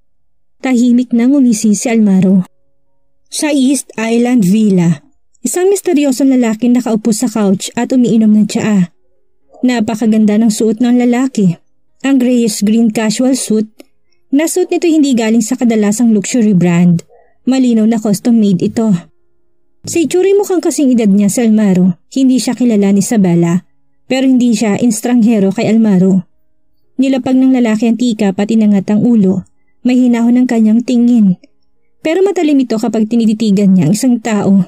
Isang malawak ng ngiti ang lumitaw sa mukha niya. Congratulations sa pagka-discharge mo. Bakit ka nandito? Tinignan ni Almaro si Sam, sinanyasa niya itong dalhin muna sa taas si Isabella. Naintindihan din ni Isabella ang sanyas at sumunod kay Sam paakyat. Sinulyo pa ng lalaki si Isabella at nginitian si Almaro. Siya yung babae na sinalo mo yung balang para sa kanya, tama ba? Naglakad si Almar papunta sa couch. Naupot pinagkur sa mga hita. Hindi niya sinagot ang tanong nito. Bakit mo ako binisita? Nagsali ng siya ang lalaki sa tasa. Gusto ka makita ni Lola. Sandaling natahimik sa Almaro. Nasa Stoslo siya? Oo, uminom ng siya ang lalaki. Pero hindi lang convenient sa kanya na puntahan ka. Habang nakatayo sa taas, bahagyang nagulat si Isabella nang marinig ang usapan nila. Nasa Stoslong lola ni Almaro? Kaya niya na mahulaan ang identity ng lalaki. Siguradong si Connor to, ang kasalukuyang patriarch ng mga Argente. Pwede mo siyang isama, gusto ring makita ni Lola ang granddaughter-in-law niya. Nilapit ni Connor ang teacup sa kanyang mga labi at ngumiti. Hindi nagtagal ang usapan nila. Tumayo na si Connor at tumalis sa villa. Nakaupo si Isabella sa Chase Lounge sa kwarto at nagbabasa ng libro. Inangat lang niyang kanyang tingin na pumasok sa pinto si Almaro. Tapos na kayong mag-uusap? Hmm, nagawang sumagot ni Almaro. Lumapit kay Isabella, naupot nilapit ang katawan. Anong binabasa mo? Tinitingnan ko lang ang content. Sinara ni Isabella ang librot nilapag ito. Bakit wala ka nabanggit sa akin tungkol sa lola mo? Hindi niya napigilan magtanong. Pinatong ni Almarong baba niya sa balikat ni Isabella at walang siglang yumakap sa bewang nito. Hindi ko siya nabanggit kasi hindi sila legal na mag-asawa ng lolo ko. Nagulat si Isabella. Hindi sila legal na mag-asawa? Ibig sabihin, nagkaroon na sila ng mga anak pero hindi sila kasal? Ang totoo, utang ng lolo kong buhay niya sa kanya. Tumayo si Almaro at naglakad papunta sa French window. Lumingon si Isabella. Saka mahinahong nagpaliwanag si Almaro. Ang gusto lang ng lolo ko noon ay i-take over ang night banquet na iniwan ng great-grandfather ko noon. Napakadelikado na naging buhay niya simula nang binata pa lang siya. Kaya naman alam niya magiging kahinaan niyang asawa at mga anak niya kung magpapakasal siya at magsisimula ng pamilya. Nawala na rin ang pagkagulat ni Isabella na maintindihan ng kwento. Ibig sabihin, yun ang dahilan kung bakit niya iniwan ang tatay mo sa mga Hieronimo para palakihin? Tumango si Almaro. Ang sabi sa akin ng tatay ko, hindi parehong nararamdaman ng lolo't lola ko noon. One-sided lang ang nararamdaman noon ng lola ko. At sumama siya sa lolo ko kahit na wala siyang title o status sa mga McBride. Kinuha pa ng lolo kong tatay ko pagkatapos ng ipanganak ang tatay ko. Kahit na ganun, bumibisita pa rin taon-taon ng lola niya kay Nicolo hanggang sa tumanda na si Nicolo. Nag-asawa at naging anak si Almaro.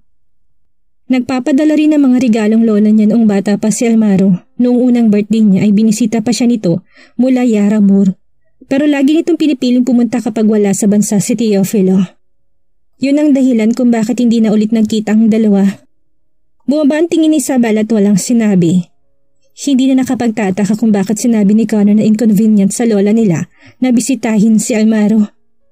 Iniiwasan itong lolo ni Almaro. Hindi siya nanghingi ng title pagkatapos bigyan ng anak si Teofilo. Gaano kalalim ang pagmamahal niya noon. Pero pinili niyang hindi na ulit siya magkita. Siguradong sobra siyang nadismaya para magdesisyon na hindi na ulit makita si Teofilo. Gusto mo bang sumama sa akin para makita ang lola ko? Tanong sa kanya ni Almaro. Bumalik sa sarili si Isabel at tumawa. Plano mo ba akong isama? Ngumiti si Almaro. Mabuting makita niyang granddaughter-in-law niya. Kinabukasan, marahil sa maulap at maulang araw, malamig ang panahon. Sumasabay ang ulan sa direksyon ng hangin, basa ang lupa at makikitang refleksyon ng lamig sa mga tubig. Nandumating ang kotse sa labas ng isang malaking hotel sa Wall Street. Nakasuot ng mahabat itim na trench coat si Almaro na nakapatong sa kanyang suit.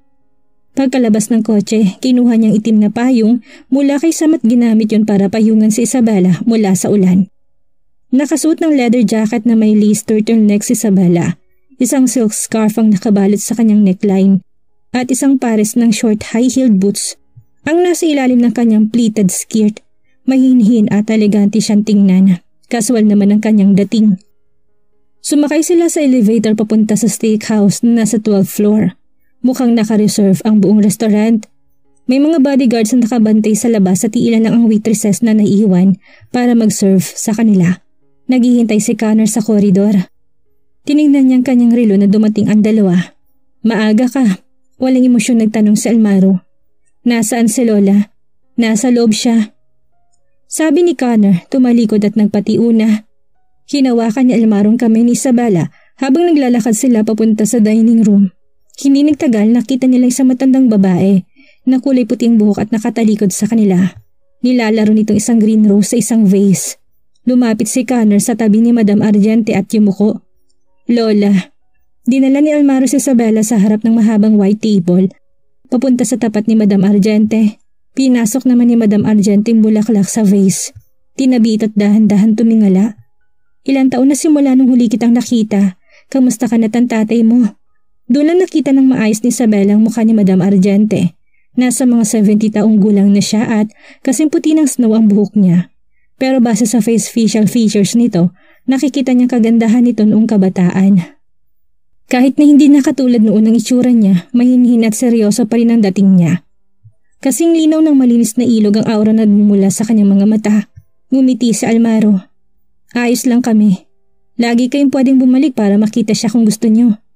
Dumapon tingin ni Madam Argente kay Isabella. Siya bang asawa mo? Walang pag-aalinlangan tumango si Almaro. Magalang na tumango si Isabel at ngumiti. Nice to meet you, Lola. Maupo ka. Marahang sabi ni Madam Argente habang nagsasali ng tsaa. Tayo lang ang nandito, wala tayong ibang kasama ngayong araw. Kaya hindi mo kailangang mahiya. Naupo si Connor sa kaliwa ni Madam Argente at tinawag ang waiter para ihain ang pagkain. Sinimulan kagad ng waiter ang paglalagay ng pagkain sa mesa. Lola, bakit kayo nasa Stoslo? Tumingin sa kanya si Elmaro. Hawak-hawak ni Madam Argente ang kanyang teacup. Narinig ko si Connor na pinag-uusapan ng Naging sitwasyon mo sa Stoslo. Infected ka raw ng virus. Pero sa kulay mo ngayon, sa tingin ko'y malaki naging recovery mo. Lola, sinabi ko sa inyo huwag mag-alala, hindi ba? Paano siyang hindi magiging okay kung nandyan si Solomon? Ngumisi si Connor. May bakas na pangungutya sa kanyang mga mata. Marahang hiniwa ni Almarong steak sa kanyang plato. Maraming perang panggastos si Mr. Regente. Sa sobrang dami mong pera, napakatindi ng ginamit mong paraan para lumpuhin ang isang tao. Siguradong iisipin ng mga taong hindi nakakaalam na nasa charity ng karir mo.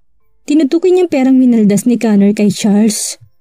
Matagal na dapat alam ni Connor na walang kaugnayan ng mga vaccines na yan kay Solomon ng Morwich.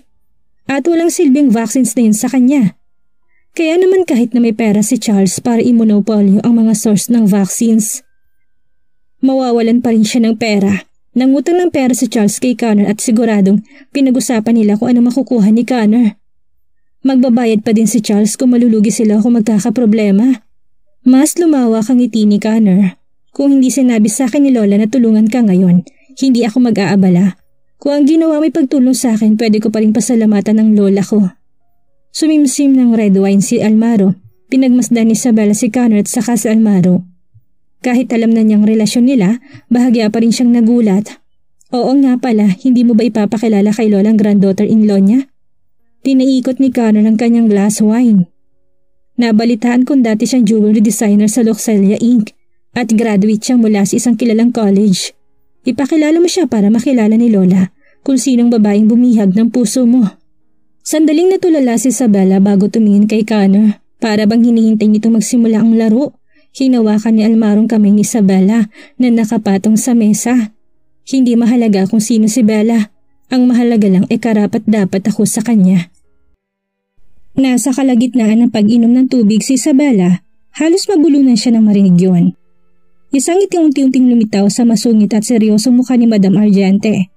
Wala akong anumang pagtutol basta masaya si Almaro sa pagsasama nila. Ang problema ko'y nasa iyo. Nang magbagong focus ng usapan, tinitigan niya si Connor. Pinakilala ka ng tatay mo sa lahat ng babae at celebrity sa buong mundo. Wala kang nagustuhan isa pero malakas ang loob mong mangasar ng iba. Tumawa si Connor. Sadyang hindi ko pa nakakita ang tamang babae. At saka Lola, bakit hindi ako pwedeng maging single habang buhay kung hindi rin kayo nagpakasal buong buhay niyo? Nang mabanggit ito, sandaling nanlamig ang paligid ng dining room. Sinulyapan ni Isabella si Madam Argente. Kahit na hindi niya makita kung naiinis o natutuwa si Madam Argente, nahuli niyang dilim na dumaan sa mga mata nito na agad namang naglaho. Gaano kayo katagal dito sa Stoslo, Lola? Binago ni Almarong usapan. Inangat ni Madam Argente ang tingin. Ilang araw ako dito, masaya ako makitang ayos ka lang. Pagkatapos nilang kumain, hinatid ni na Almar at Isabella si Madam Argente sa pinto. Habang nakatayo sa harapan ng sasakyan, tumalikod si Madam Argente para harapin sila. Ikamusta mo ko sa tatay mo kapag nakabalik na kayo sa Sklokova? Tumango si Almaro. Nang makasakay si Madam Argente at Connor sa sakyan at pinanood ni Isabel ang pag-andar nito hanggang sa hindi niya na ito matanaw. Lumingon siya kay Elmaro. Tinutulungan ka pala ng lalaki nagbibigay ng pera kay Charles? Ngumiti sa Elmaro. Bakit hindi mo yung sinabi sa harapan niya? Humalo kip-kip si Isabella. Hindi ako malapit sa kanya at ma-offend ko siya kung sasabihin ko Inakbayan siya ni Almaro. Based sa seniority mo sa pamilya, ikaw ang elder cousin-in-law niya, kaya wala siyang sasabihin sa'yo kahit na ma-offend mo siya. Sa mata ng lahat, divorce na tayo, kaya kung gusto ko manatili sa'yo ay depende sa mood ko. Tinulak ni Isabel ang kamay ni Almaro palayo sa kanyang katawan at naglakad papunta sa sakyan na inilapit ni Sam. Walang nagawa si Almaro. Nagtanim na siya ng loob sa akin ngayon magaling na ako. Mas mabuting hindi na lang ako gumaling. Meron lamang kulay dilaw na lamp sa padar na nagbibigay ng konting liwanag sa koridor. Isang bodyguard na may dalang tirang pagkain na naglalakad papunta sa isang saradong pinto at saka ito binuksan. Sa likod ng outer door ay isa pang nakasarang bakal na pinto, parang isa itong hawla. Kapag sumilip sa bakal na pinto ng kwarto, makikita nakahiga si Rosita sa kama't hindi gumagalaw. Hindi ventilated ang kwarto, kaya naman hindi magandang amoy sa loob. Hoy, tumayo ka na't kumain. Sinipa ng malakas ng bodyguard ang pinto para gumawa ng ingay, pero hindi gumalaw si Rosita. Nang makitang hindi siya gumalaw, nagtakang bodyguard kung may nangyari sa kanya. Kaya naman bilis itong nilabas ang susi at pinuksan ang pinto. Nang lumapit ang bodyguard sa pinto para silipin siya, biglang tumayo si Rosita at sinunggaban ng bodyguard. Tinulak niya to para matumba sa sahig. Kinagat niyang leeg nito. Kahit anong tulak sa kanya ng bodyguard, hindi nito maalis si Rosita sa katawan niya. Nakagat at natanggal ang laman sa leeg ng bodyguard. Kinuha ni Rosita ang pagkakataon nito para agawin ang baril nito sa kabinaril. Tumalsik ang dugo sa mukha niya Tinitigan ni Rosita ang lalaking duguan ng leeg at may tamang baril sa ulo. Tumatawa siya ng malakas. Nakakatakot siyang tingnan nang bumukas ang kanyang bibig. Gusto niyo akong ikulong dito habang buhay? Mangarap kayo! Kung gusto niyo akong mamatay, hihilahin ko lahat ng taong may hila ko papunta sa impyerno. Saka siya tumayot tumakas ng hindi lumilingon sa Eastern State. Nakaupo si na Almaro at Solomon sa study, naglalaro ng chess. Ang isa sa graceful at charming habang ang isa naman ay reserve at mahinahon. Masasabi magkapantay ang dalawa base sa kanilang ugali. Pinagalaw ni Solomon ang kanyang chess piece. Hindi ka naman nagpunta sa akin para magpasalamat lang. Tama ba? Nang makitang nabuko na siya, mahina akong sumagot si Almaro. Ang totoo, nagpunta ako dito para magtanong sa inyo tungkol sa isang bagay. Ngumiti si Solomon. Gusto mo bang malaman kung ano nangyari kay Bella sa nagdaang tatlong taon? Hindi yung tinanggi ni Almaro. Hawak-hawak ni Solomon ang sang chess piece. Nakita niyang hindi gumalaw si Almaro. Hindi magandang sitwasyon niya nitong nagdaang tatlong taon. Namatay sa aksidente ang tunay niyang ama habang nawala naman siya ng anak. Walang magagawang mabuhay pagkatapos ng lahat ng yun. Binaba ni Almaro ang chess piece niya. Bahagyang nagbagong walang emosyong niyang ekspresyon. Simula nang malaman niyang buntis noon si Isabel at nawala ang bata dahil sa aksidente, alam niyang habang buhay ang utang niya sa kanya.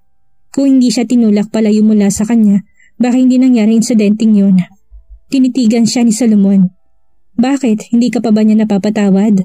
Binawi ni Almaron tingin niya mula sa chessboard pero hindi sumagot nang tumingin siya sa ibang direksyon. Pinagmasdan ni Solomon ang chessboard. Kung hindi ka pa niya napapatawad, hindi siya magsusumikap na mailigtas ka. Nakikita ko na hindi siya kailanman sumuko sa'yo Nakipagpalitan ng tingin si Almaro sa kanya sabay tikom na mga labi.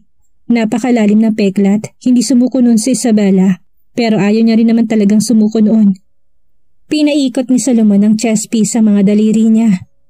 Pinwersa mo siyang iwanan ka dahil lang infected ka ng virus at ayaw mong maapektuhan siya. Naintindihan kong ginawa mo. Pagkasabi noon, lumingon sa bintana si Solomon. Noon, iniwanan ako ng nanay niya dahil ayaw niya rin na mahirapan ako.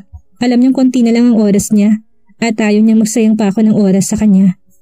Ako naman, bigo ako mailigtas siya kagad at buong buhay kong dadalhin ng pagsisisi na yon. Kaya naman ayaw ko sundan ni Bella ang mga yapak ko. Lumabas na study sa almar at nagkataon naman na pumasok si Isabella sa koridor. Nagulat siya at nakangiting lumapit.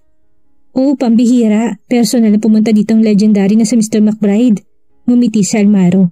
Siyempre, kailangan kong personal na pumunta para sabihan si Solomon na iuwi ng asawa ko. Pinasok ni Isabel ang mga kamay sa kanyang bulsa. Hindi pa naayos ang libing ng lolo ko. Hinaplos ni Almarong pisngi ni Isabela. Okay lang, uuwi tayo pagkatapos ng libing ng lolo mo. Hindi ko pa alam kung gusto kong sumama sa iyo pabalik. Sinadya ni Isabel ang bagalan ng pagsasalita, pero nagulat siya ng maninipis na labi ni Almarong na agad na hinalikan ang kanya. Sa sumunod na segundo ay ang mainit nitong hininga na lang ang nararamdaman niya. Sa takot na may makakita, mabilis na tinulak ni Sabel ang dibdib ni Almaro para maghiwalay ang mga labi nila.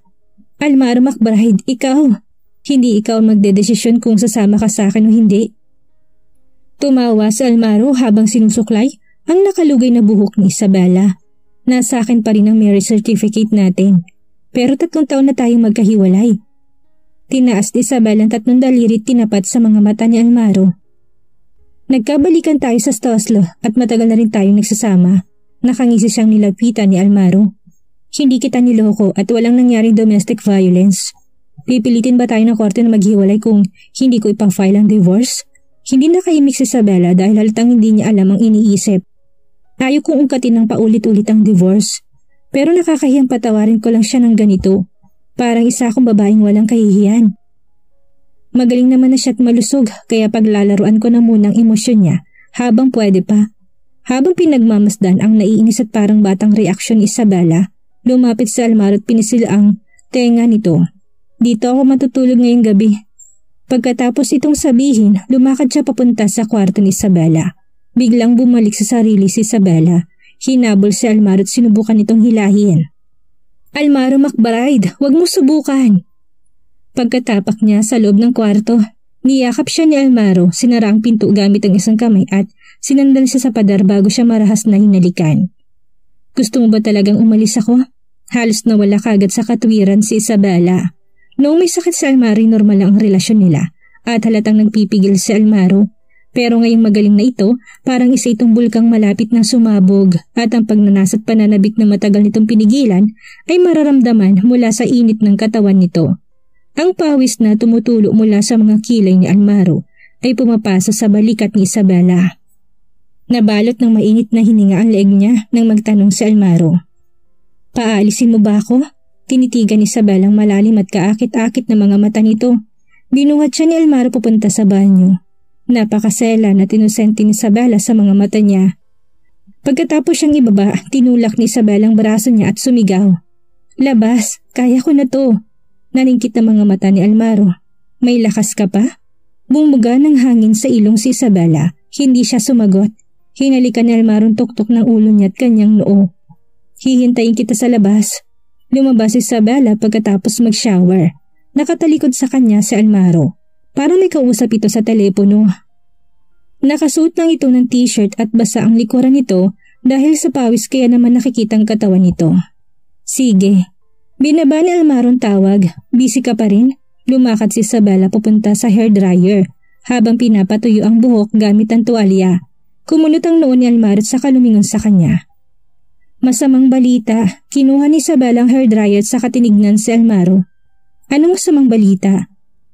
Nakataka si Rosita. Napahinto si Isabel at saka tumingin ulit kay Almaro. Paano? Napakamot sa kilay si Almaro. Akala ng taong nagdala ng pagkain kay Rosita na may nangyari sa kanya. Kinagat siya ni Rosita nang pumasok siya para i-check. Inagaw sa kanyang baril at saka siya pinatay. Hindi talaga nananahimik ang baliw na babaeng yon kahit na nakakulong na. Nang makita nakakunot ang noon ni Isabella, nilapitan siya ni Elmar at tinakbayan sa balikat, sabay kuha ng tuwalya gamit ang isang kamay para tulungan siyang patuyuin ang buhok. Palihim na siyang sinusundan ni Sam. Susubukan niya magiganti ngayon nakatakas siya. Hindi siya mananahimik. Nabalot ng dilim ang Zena sa dalawang araw na yon. Bumalik si Isabella sa mga Delorha para dumalo sa libing ng lolo niya. Simple lang ito, walang abo o katawan. Naglagay lang sila ng lapida. Wala nang iba bukod kina Solomon, Edward at Almaro ang dumalo sa libing ng araw na yun. Sa sandaling ito biglang lumapit si Sam. Mr. McBride. Lumingon sa kanya si Almaro. Nagdilim ang mga mata niya nang makitang maputla si Sam. Anong nangyari? Kinuhang hostage ni Rosita siyang Master Asher at Elder Master McBride. Haharapin namin siya sa pier. Agad na lumapit si Isabella pagkatapos marinig yun. Anong sinabi mo? Bakit niya hinostage si Asher at Teofilo? Alam ni Isabella hindi tatahimik si Rosita pero hindi niya nakalang ang anak niyang pupunteryahin nito imbis na siya. Hindi, kailangan kong pumunta. Hinila ni Almarong braso niya. Ako ang pupunta. Kapag pumunta ka, hindi niya pakakawalan si Asher at Lolo. Natulala si Isabella pero nang bitawan siya ni Almaro, hinawakan niya ito sa kamay at tinitigan. Maputlang kanyang muka. Almaro, sasama ko sa iyo. Hinawakan ni Almaro ang likod ng ulo niya at pinagdikit ang kanilang mga noo. Magtiwala ka sa akin, ibabalik ko si Asher. Bumitaw si Almaro at umalis kasama si Sam. Tinignan ni Edward si Salomon. Tumango ang huli, kaya umalis si Edward kasama mga tauhan niya. Isang grupo ng mga nakaitim na lalaki nakatayo sa pier Kaharap nila si Rosita na nasa isang barko. Hindi nagpadalos-dalos sa mga lalaki dahil may hawak na baril si Rosita at may kontrol sa bombang nakatali sa katawan niya. Kung hindi sila mag-iingat, mamamatay lahat na nasa barko. Nakatali si na Teofil at Asher sa deck. Hindi niya inakalang si Valeria si Rosita. Rosita, anong gusto mo? Huwag mong idami ang bata. Sa akin may buhos ang galit mo. Sinubukan siyang kumbinsihin ni Teofilo. Pero hindi tinanggap ni Rosita at parang nababaliw na sumagot ng pasigaw. Manahimik ka! Tuluyan na siyang nawala sa sarili. Sa tingin mo ba, maniniwala pa rin ako sa anumang sasabihin ng isang McBride? Nakita ni Teofilo ang emotionally unstable na si Rosita kaya naman nagsimula na siyang mag-alala. Nagdilim ang mukha niya. Rosita, wala kaming ginawang masama sa'yo. Wala naman talaga silang ginawang masama sa kanya. Kinupkup nila ito at pinalaki. Kailan nila ito tinrato ng masama. Pinagkatiwalaan siya ni Teofilo. Pero bumagsak siya dahil sa pagiging makasarili. Sa tingin mo ba'y wala kang ginawa sa akin? Sigaw ni Rosita. Ang laki ng ginawa ko para sa pamilya niyo. Paano niyo ko nagawang itaboy na lang? Pulang-pulang mga mata ni Rosita. Lahat ng ginawa ko'y para kay Almaro. Gusto ko lang paalisin ang babaeng yun. Mali ba ako? Pumikit si Teofil at nagbagong tono ng boses. Rosita, binigyan kita ng pagkakataon. Hindi yung pagkakataon. Humintong tibok ng puso ng lahat ng itaas na Rositang mga kamay. Nagsimulang magpawis sa mga kamay nilang nakahawak sa baril. Tuluyan ang nawala sa sarili sa Rosita at lumalabas na mga ugat sa kanyang leeg. Pinigyan mo ko ng pagkakataon pero pinahuli mo ko sa mga pulis. Sa madilim na lugar ako nagtago dahil wala akong ibang mapuntahan. Nagsimulang mamutla si Teofilo. Rosita, pwede ka magiganti. Patayin mo ko pero nagmamakaawa ako. Pakawalan mong bata. Mangarap ka. Tumawa si Rosita at lumapit kay Asher. Hinawakan niya ito sa panga. Pwede kong pakawalan ng batang ito kung hindi siya anak ni Almaro. Pero hindi. Anak siya ni Almaro at nagbuisit na si Isabela. Anong binabalak mo? Nawala ng pasensya si Teofilo. Wala siyang pakialam kung mamamatay siya pero isang bata lang si Asher. Kailangan niya makasigurado na maging ligtas ito. Binitawan ni Rosita si Asher at naglakad papunta sa harapan ng deck. Isasama ko kayo sa impyerno. Rosita! Lumabas si Almaro mula sa likuran ng mga lalaki na kaitim. Matalim ang kanyang mga mata. Pakawalan mo sila at ako magiging hostage mo. Pwede mo gawin kahit anong gusto mo. Gulat na gulat si Sam at sinubukang pigilan si Almaro. Mr. McBride, huwag kang magalala. Hinubad ni Almaro ang kanyang kuwot at hinagis ito kay Sam. Sa kanyang inilis ang botones ng kanyang manggas. Ako ang gusto mo, hindi ba? Sabi niya kay Rosita. Malakas na tumawa si Rosita habang tumutulong mga luha. Almaro, gusto mo ba akong samahang mamatay? Hindi sumagot si Almaro. Tinas niyang mga kamay para ipakita na wala siyang dalang anumang armas habang naglalakad papunta sa barko. Sabihin mo lang ang gusto mo, pakawalan mo lang si Lolo at si Asher. Pinanood siya ni Rosita unti-unting lumapit sa barko hanggang sa nakatayo na siya sa deck. Nagulo ng malakas na hangin ang kanyang buhok. Humahampas ito sa seryosong ekspresyon ng kanyang maputlang muka. Papayag ka ba sa lahat ng gusto ko? Singhal ni Rosita. Hindi nagalinlangan si Almaro. Oo.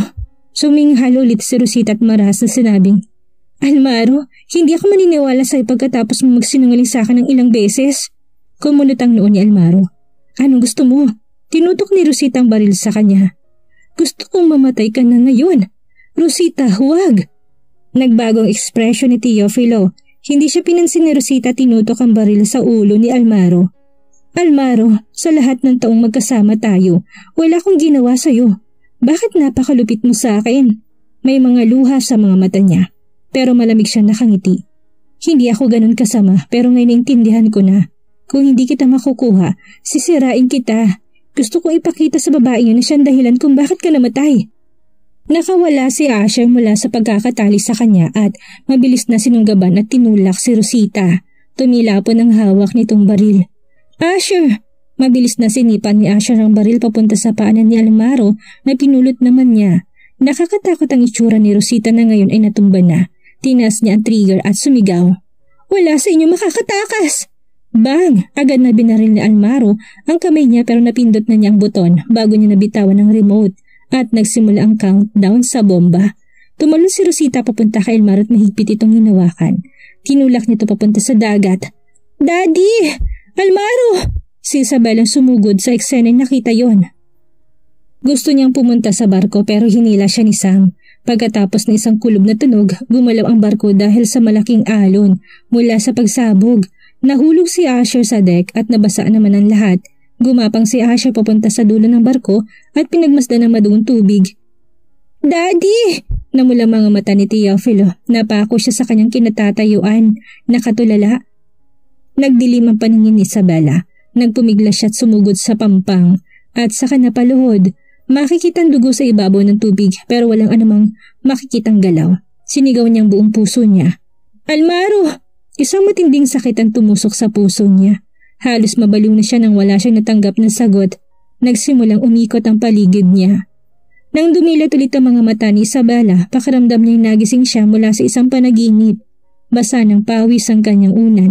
Gayunpaman, meron siyang naalala tagad na napaupo. Inalis niyang kumot at bumaba mula sa kama. Sakto naman pumasok si Edward. Gising ka na, Bella. Hinawakan siya sa braso ni Isabella. Tito Edward, nasaan si Almaro? Nanatili lang nakatayo si Edward at hindi sumagot. Dahan-dahang bumitaw si Isabella na makita niya yon at napaatras ng ilang hakbang. Hindi, hindi siya namatay. Kailangan ko siyang hanapin.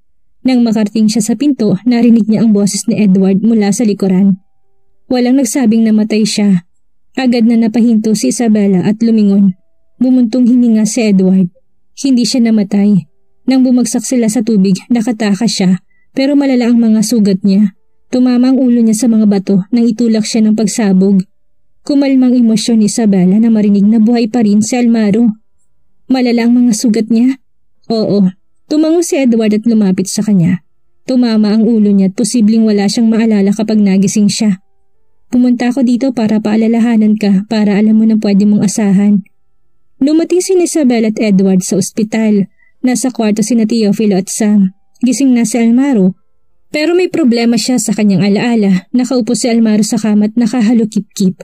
Matagal siyang nakatitig kina Teofilo at Sam. Hindi ganyan katanda ang lolo ko at hindi ganyan ang itsura ni Sam. May gusto sanang sabihin si Teofilo pero pinigilan niya to. Madilim ang itsura niya. Napakamot na lang ng mukha si Sam. Mr. McBride, ilang taon ka na? Walang pag-aninlangan sumagot sa Almaro. 17.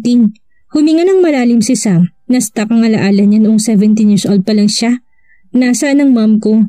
Nawala ng pasensya sa Almaro at sinubukan tumayo. Mabilis siyang tinulak pahiga ni Sam. Mr. McBride, hindi pa kayo magaling. Pumasok si Isabella sa ward. Tinignan siya ni Almaro at bahagyang natulala. Lumingon sa kanya si Sam. Miss Taylor, si Mr. McBride. Alam ko. Lumapit si Isabella sa kama at pinagbasdan si Almaro habang nakangiti. Nagtanong si Almaro ng hindi nagbabagong ekspresyon. Sino ka? Ako? Ngumiti si Isabella. Ako ang asawa ng 32-year-old na ikaw. Gulat na napatingin si Sam sa kanya pero walang sinabi. Nastak ang alaala ni Almaro noong 17 years old ito. Kahit hindi sila sigurado na gagaling sa Almaro, itong kailangan nilang harapin ngayon. Pinagmasdan siya ni Almaro, walang anumang bakas ng pandidiri o pag-angal sa ekspresyon ng mukha niya habang hinahayaang makalapit sa kanya. Isang taong hindi niya nakikilala. Nang makalapit si Isabella, bumilis ang tibok ng puso niya. Hindi na malaya ni Almaro na umangat ang kamay niya para hawakan ang mukha ni Isabella. Pero hinawakan ni Isabel ang kamay niya at ngumiti. Ako ang future wife mo. Hindi mo ko asawa ngayon kaya magpakabait ka. Tawagin mo ko Miss Taylor. Napahawak sa noo si Sam. Sinasamantala ba ni Miss Taylor ang pagkakataon na to para i-take advantage si Mr. McBride? Tumikim si Theophil at doon lang napagtanto ni Isabella na nasa kwarto siya. Sumobra siya. Tumayo siya ng diretso tumingin kay Teofilo pero hindi niya alam ang sasabihin. Halatang nagbagong trato sa kanya ni Teofilo dahil nandito ka naman, samahan mo siya ngayong gabi. Napahinto si Isabel at sakang umiti at tumango. Okay. Tumalikod si Isabella para harapin si Almaro na katitig sa kanya. Asawa ba talaga kita? Naupo siya sa dulo ng kama. Hindi lang tayo kasal, may mga anak din tayo. Walong taon na sila. Halatang nagulat si Almaro, lumapit si Isabel at nilapat ang isang daliri sa mga labi ni Almaro. Napalunok si Almaro at napatitig, ngumiti si Isabella. Glad to meet you 17-year-old Almaro. Nang mula sa Almaro, hindi niya kinayang panunukso. Umiwas siya ng tingin. Huwag mong isipin na pwede mo kong hawakan.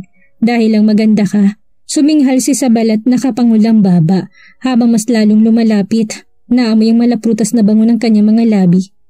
Talaga, mahilig akong hawakan at apiin. Nang future na ikaw, pagkakataon ko na para makaganti. G- gagawin ko yun hindi naglakas loob si Almaro na tumingin sa nakakaakit na mga mata ni Isabela. Hindi niya ito naaalala pero malinaw na napukaw nitong puso niya. Wala sa bukabularyo ni Almaro ang pagiging mahinhin. Pero nakikita yun ngayon ni Isabela. Hindi ito nagpapanggap na walang naaalala. Hindi nagsinungaling si Edward. Ang aalaala lang nito noong 17 years old pa siya at wala ng iba. Bumitaw si Isabel at wala nang sinabi. Nang makitang malungkot siya, kakaibang naramdaman ni Almaro. Hey, sabi mo asawa kita. Kailangan mo sabihin sa akin kung paano kita tatawagin. Tumingin sa kanya si Isabel at sa kamalawak ng ngiti. Isabella, pwede mo kong tawagin na Bella. Bella. May hinang sambit ni Almaro pero hindi siya mapakali. Hinawakan siya sa balikat ni Isabel at mas lalong lumapad ang ngiti. Pwede mo rin akong tawagin na Miss Taylor. Hindi pwede. Tumanggi si Almaro tagad na sumakit ang ulo. Ang sabi mo asawa kita, hindi kita tatawagin na Miss Taylor. Hinawakan ni Isabel ang ulo ni Almaro. Isa ka lang 17-year-old ngayon. Ano masama kung tatawagin mo ko Miss Taylor? Tinulak ni Elmarong kamay niya. Pero lalaki din ako. Lalaki ka na ba kapag 17 ka na? Walang may isagot si Almaro at umiwas na lang ng tingin. Bakit ako mahuhulog sa'yo? Dahil lang maganda ka? Binawi ni Isabel ang kamay niya pero hindi siya nagalit. Oo, gustong gusto mong kagandahan ko kaya kinlit mo ko. Kaya pinakasalan kita. Tumaas ang kilay ni Almaro tumitig kay Isabela. Ganun ba ako kababaw? Pagkatapos sabihin yon, pinagmasdan niya masalan at inosenteng mukha ni Isabella at wala nang sinabi pa. Type niya nga ito. Ngumiti ng malawak si Isabella. Lumapit siya sa mga labi nito hanggang isang pulgada na lang ang pagitan nila. Sa sobrang lapit nila'y naghalo ng kanilang mga hininga. Hindi ko alam kung mababaw ka. Ang alam ko lang ay mahal mo ko ng sobra. Isang linggong nasa ospital si Almaro Halos magaling ng mga sugat sa likod niya, pero walang senyales ng pagbalik ng mga alaala niya. Pinasa sa kanya ni Isabel binders na hinanda ni Sam para sa kanya. Ilang piraso din itong mga record na nangyari na hindi niya naalala. Hindi lang siya meron tatlong anak pero nalaman niya din kung bakit namatay ang nanay niya at nasa likod noon ay ang kababata niyang si Rosita. Tunay ang kasal nila ni Isabella at pumirma sila ng mga papel 3 years ago. Isang makirot na sakit ang bumalot sa ulo ni Almaro. Sinara niya ang binder at tinabi ito. Hindi ba't walong taon ng mga anak ko? Bakit tatlong taon pa lang tayong kasal? Nagbabalat ng orange. Si Isabella habang nakaupo sa tabi niya. Nine years ago, may irresponsableng lalaki nakipagtalik sa akin. Nabuntis ako't ng anak sa ibang bansa. Pagkalipas ng anim na taon, pinabalik ako ng lalaking yun sa bansa dahil binigyan niya ako ng trabaho bilang designer para sa sweetheart niya. Malaki ang sweldo tinakot niya ako dahil sa sweetheart niya. Pinaghiwa-hiwalay niya ang mga orange at kinain ng ilan, kalahati lang ng katotohanan ng sinasabi niya. Pero medyo tangang lalaking yun dahil hindi niya alam kung sino nakatalik niya. Hindi niya ako tinitigilan at nagduda na siya sa sweetheart niya. Pagkatapos kumuha siya ng paternity test sa mga anak ko. Ginawa ko lahat yan. Gulat na napatingin sa kanya si Almaro. Pakiramdam niya'y gawa-gawa lang yun ni Bella. Tumaas ang kilay ni Isabella. Nabuntis mo ako bago pa tayo ikasal. Ano sa tingin mo? Natahimik si Almaro. Pumasok sa pinto si Sam kasama isang lalaki at ang lalaki yun ay walang iba kundi si Connor Argente. Dahan-dahan tumayo si Isabella. Mr. Argente, sinubukan ni Connor na hindi ngumiti. Inutusan ako ng tita kong bisitahin si Almaro. Nawalan daw siya ng alaala. Nagkibit balikat si Isabella. Parang ganun na nga, memory impairment. Ang naalala niya lang ay ang mga nangyari bago siya maging 17 years old. Oh, tinignan ni Connor sa almaro at ngumiti. Kung 17 ba lang siya, ibig sabihin, nakalimutan ka niya? Sumimangot ang mukha ni Almaro, ngumiti si Sabala. Basta maayos lang siya. Sasamahan mo pa din siya kahit na hindi kanya naalala? Ang touching naman nun. Hindi pinansin ni Connor sa Almaro at lumapit kay Isabella. Naisip mo bang magpakasal sa iba? Huminto si Isabella, halatang nagdududa. Isang una nang tumama sa katawan ni Connor. Nasalo niya ang unan at nakitang matalim ang tingin ni Almaro sa kanya. Lumayo ka sa kanya. Ngumiti si Connor. Akala ko hindi mo siya naaalala. Humalakip-kip si Almaro halata nagyayabang. Kahit hindi ko siya naalala, asawa ko pa rin siya. Wala kang pag-asa. Yumuko si Isabel at hindi niya mapigilan na mapatakip ng bibig. Kahit nakalimutan na siya ni Almaro, tinatrato pa rin siya na parang pagmamayari. Ngumiti si Connor at sinabing, Nagbibiro lang ako, wag mo seryosohin pinsan. Sinabi ni Almaro habang nangangalit ang kanyang ngipin. Hindi mo ko pinsan. Sa tingin mo ba nakalimutan na kita? Mukhang naalala mo pa rin, sabi ni Connor habang nilagay niyang unan sa kama. Sige, dahil humihinga ka pa. Sa tingin ko dapat gumana ang loob ng lola mo. Pagkatapos nun, nilagay niyang kamay niya sa balikat ni Isabel at nagpatuloy. Iiwan ko na siya. Alisin mong kamay mo. Suminghal si Almaro. Pagpigil niya kay Connor, tinanggal ni Connor ang kamay niya kay Isabel at nagkibit balikat. Sige sige, aalis na ako ngayon. Iiwan ko na itong matandang teenager. Sa pangangalaga mo, Miss Taylor. Pagkatapos makaalis ni Connor, naghalukip-kip sa Almaro at madilim ng kanyang muka. Dati magaling siya magtago ng kanyang emosyon. Pero matapos bumalik ang memorya niya sa pagka-17, parang hindi niya na yun kayang gawin. Tama yun, sa kasalukuyan, ang memorya lang ni Almaro ay ang katigasan ng ulo niya bilang 17 years old na teenager. Pinuntahan siya ni Isabella at umupo sa gilid ng kama. Lumapit sa kanya si Isabella at tinanong, Galit ka ba? Pero hindi siya pinansin ni Almaro. Hinawakan ni Isabella ang pisngi niya tinalikan ng kanyang labi.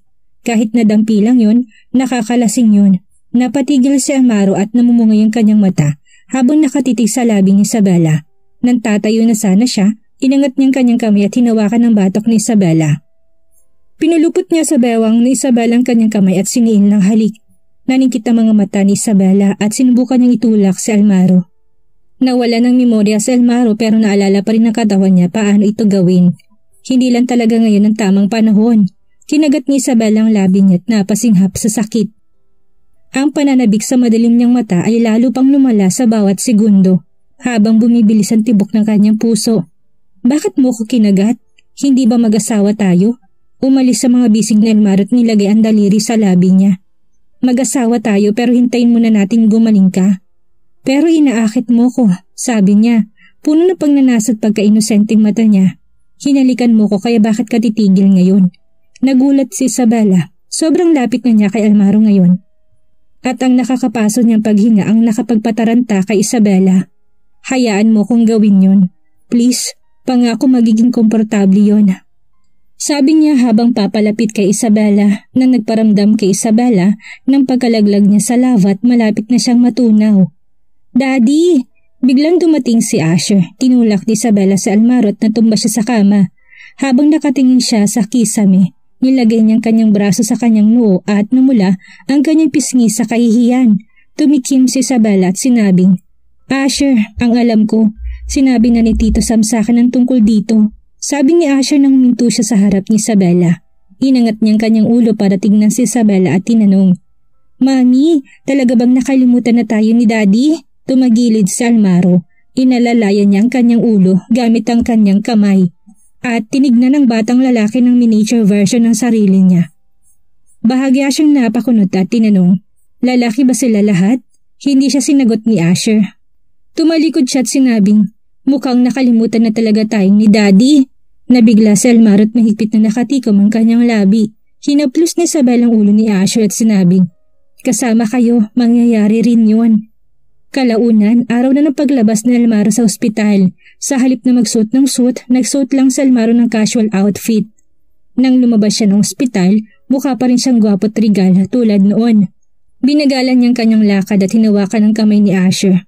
Bahagyang nagulat si Asher pero hindi niya binitawan ang kamay ni Almaro. Lumapit si Isabella sa passenger seat at nang bubuksan na sana niyang pinto, tinanong siya ni Almaro. Bakit ka upo sa harap? Nagulat si Isabella pero bumalik din siya sa realidad, tumalikod at ngumiti. Binibigyan kita ng oportunidad makasamang anak mo. Maraming araw, buwan ang lumipas. Nanatiling walang alaala sa Almaro, subalit hindi nawawala na pag-asa si Isabella. Alam niyang darating ang araw na muling manunumbalik ang nawawalang alaala ni Almaro. Nagbalik sila ng Sklokova kasama si Almaro at Asher para makasama ang dalawa pa nilang anak na si Diana at Theodore. Matapos ang naging laban ni Almaro kay Rosita, wala na naging balita sa dalaga. Hanggang lumabas sa mga pahayagan at laman ng telebisyon ang isang babaeng palutang-lutang sa dagat at halos hindi na makilala. Rosita Heronimo, wala nang iba pa.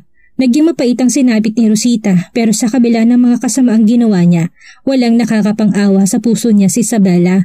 Dahil sa lahat ng taong nagbuwis ng buhay, kulang pang buhay ni Rosita bilang kabayaran. Samantalang biglang napapitlag si Isabella matapos marinig ang sigaw ni Almaro. At nang puntahan niya ito sa kwarto, halos hindi ito magkanda o gaga sa paghawak sa kanyang ulo. Almaro! Almaro! Anong nangyayari sa iyo? Maging ang mga batay nagulat dahil din sa nangyarit mabilis na lumapit sa kwarto ng ama. Daddy, anong nangyayari? Naiyak na sambit ni Diana. Mami, anong nangyayari kay Daddy? Ah! Ang sakit! Ah! Muling sigaw ni Almaro dahilan para yakapin siya ni Isabella. Almaro, kumalma ka. Sweetheart. Isabella. Mabilis na niyakap ni Almaro si Isabella. Hindi naman nakapagsalita si Isabella. Marahil ito ng pinakahihintay niya. Muling nagbalik ng alaala ni Almaro. Matapos makumpirma, ipinialam niya kagad to kay Teofilo. Masayang-masayang matanda, maraming pagsisisit kasalanan ang nagawa niya lalo na kay Isabella pero sa huli na natiling mabuti sa kanya si Isabella. Baging ni pinagpapasalamat niya, isang kahangalan na mas pinagkatiwalaan niya si Rosita na siya palang magdadala ng lahat ng kaguluhan at kasamaan sa pamilya nila. Makalipas ang isang taon, naging tahimik at masaya ng buhay ni Isabella. Pero minsan dinadalaw din siya ng kalungkutan kapag naalala niyang mga nasawi Miss na miss na niya ito pero dahil sa presensya ni Solomon na itinuturing na din niyang ama, napapawi nitong kanyang kalungkutan. Isabella, may pupuntahan tayo. Biglang sabi ni Almaro habang nasa hapagkainan sila. Nagtataka si Isabella dahil panayang kindata na mag-aama at panayang hagikik ng tatlong bata. At saan naman yan Almaro? Ako ha? Baka ginugutan niyo ko? No mami, basta tiwala ka lang kay daddy. Si Dayan ang sumagot. Walang nagawa si Sabala kundi ang sumang-ayon. Pagsapit ng hapon, nakahanda na lahat. Sorpresa ito ni Almaro kay Isabella. Isang itim na piring ang nilagay ni Almaro sa mga mata ni Isabella. Sakay ng isang magarang sasakyan, nagtungo sila sa isang malaparaisong lugar na siguradong magugustuhan ni Isabella. Wala namang nagawa si Isabella kundi magpatianod. May tiwala siya kay Almaro at sa kaibuturan ng puso. Alam niya magugustuhan niya, ano man ang sorpresang inihanda sa kanya ni Almaro. Dahan-dahang naglalakad si Isabella at ramdam na mga paa niyang pinungbuhangin na dumadampi sa malambot niyang mga paa. Kaya naman pala pinahubad ni Almarong suot niyang sapin sa paa. Alam niyang hindi siya masasaktan bagkus. Para minamasahe pang paa niya at ang tunog at hampas ng dagat sa may dalampasigan na tila isang malamyos ng musika sa kanyang pandinig. Almaro, nasaan na ba tayo? Bulong-bulungan at hagikikan ng tanging naririnig ni Isabella. Sweetheart, are you ready? Pwede mo nang tanggalin ang blindfold. Dahan-dahan tinanggal ni Isabel ang takip sa kanyang mga mata at ganun na lang ang gulat niya nang bumungad sa kanyang napakagandang tanawin. Isa itong napakalawak na karagatan na may malawak na dalampasigan na pupuno ng mga taong mahahalaga sa kanya. Si Megan kasama na tatlo niyang anak katabi ni Peter, kasama din ang pamilya Lugario, si Nicolo na ama ni Almaro at si Teofilo na may ngiti sa labi. Katabi nito si Madam Argente, ang lola ni Almaro. Si Sam nakatabi ni Maddie. Mukhang si Sam na magpapalambot sa pusong lalaki ni Maddie. At ang kinaluha ni Isabella ay ang lalaki ngayon na nakaluhod sa harapan ni Isabella. Almaro McBride, naluluhang sambit ni Isabella. May kinuha ito sa kanyang bulsa at dahan-dahan yung binuksan. Isang singsing na may malaking bato sa gitna.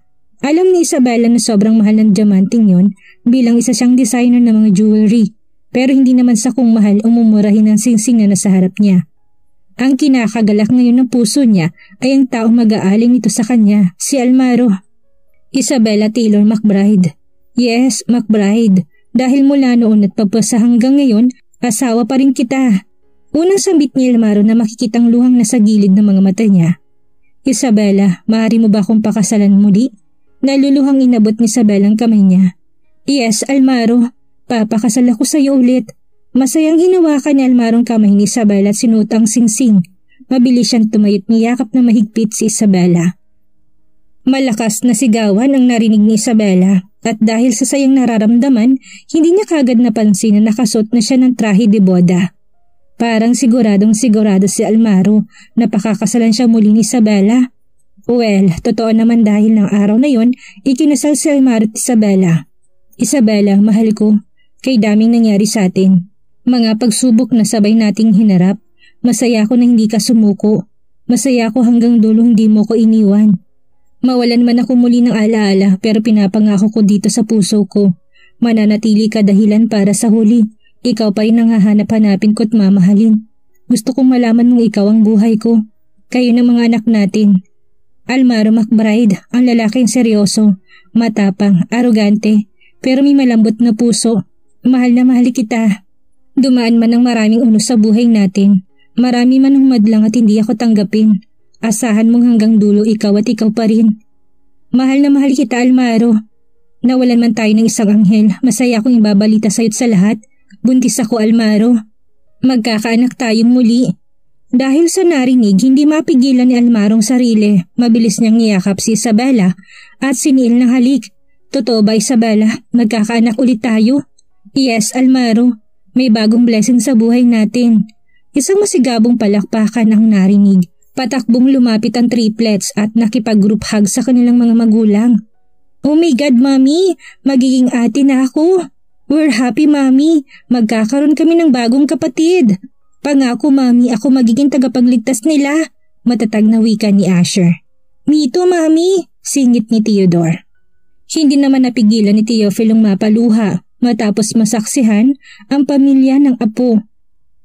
Malaki ang kasalanan niya kay Isabel at Almaro pero sa pagkakataong ito, tanging suportang alam niyang gawin ngayon dahil napatunayan namang walang kasalanan ang pamilya de Lorha. Sa pamilya McBride, lahat ng maling akusasyong iyon ay nagturo kay Rosita bilang anay na sumira sa kanilang pamilya.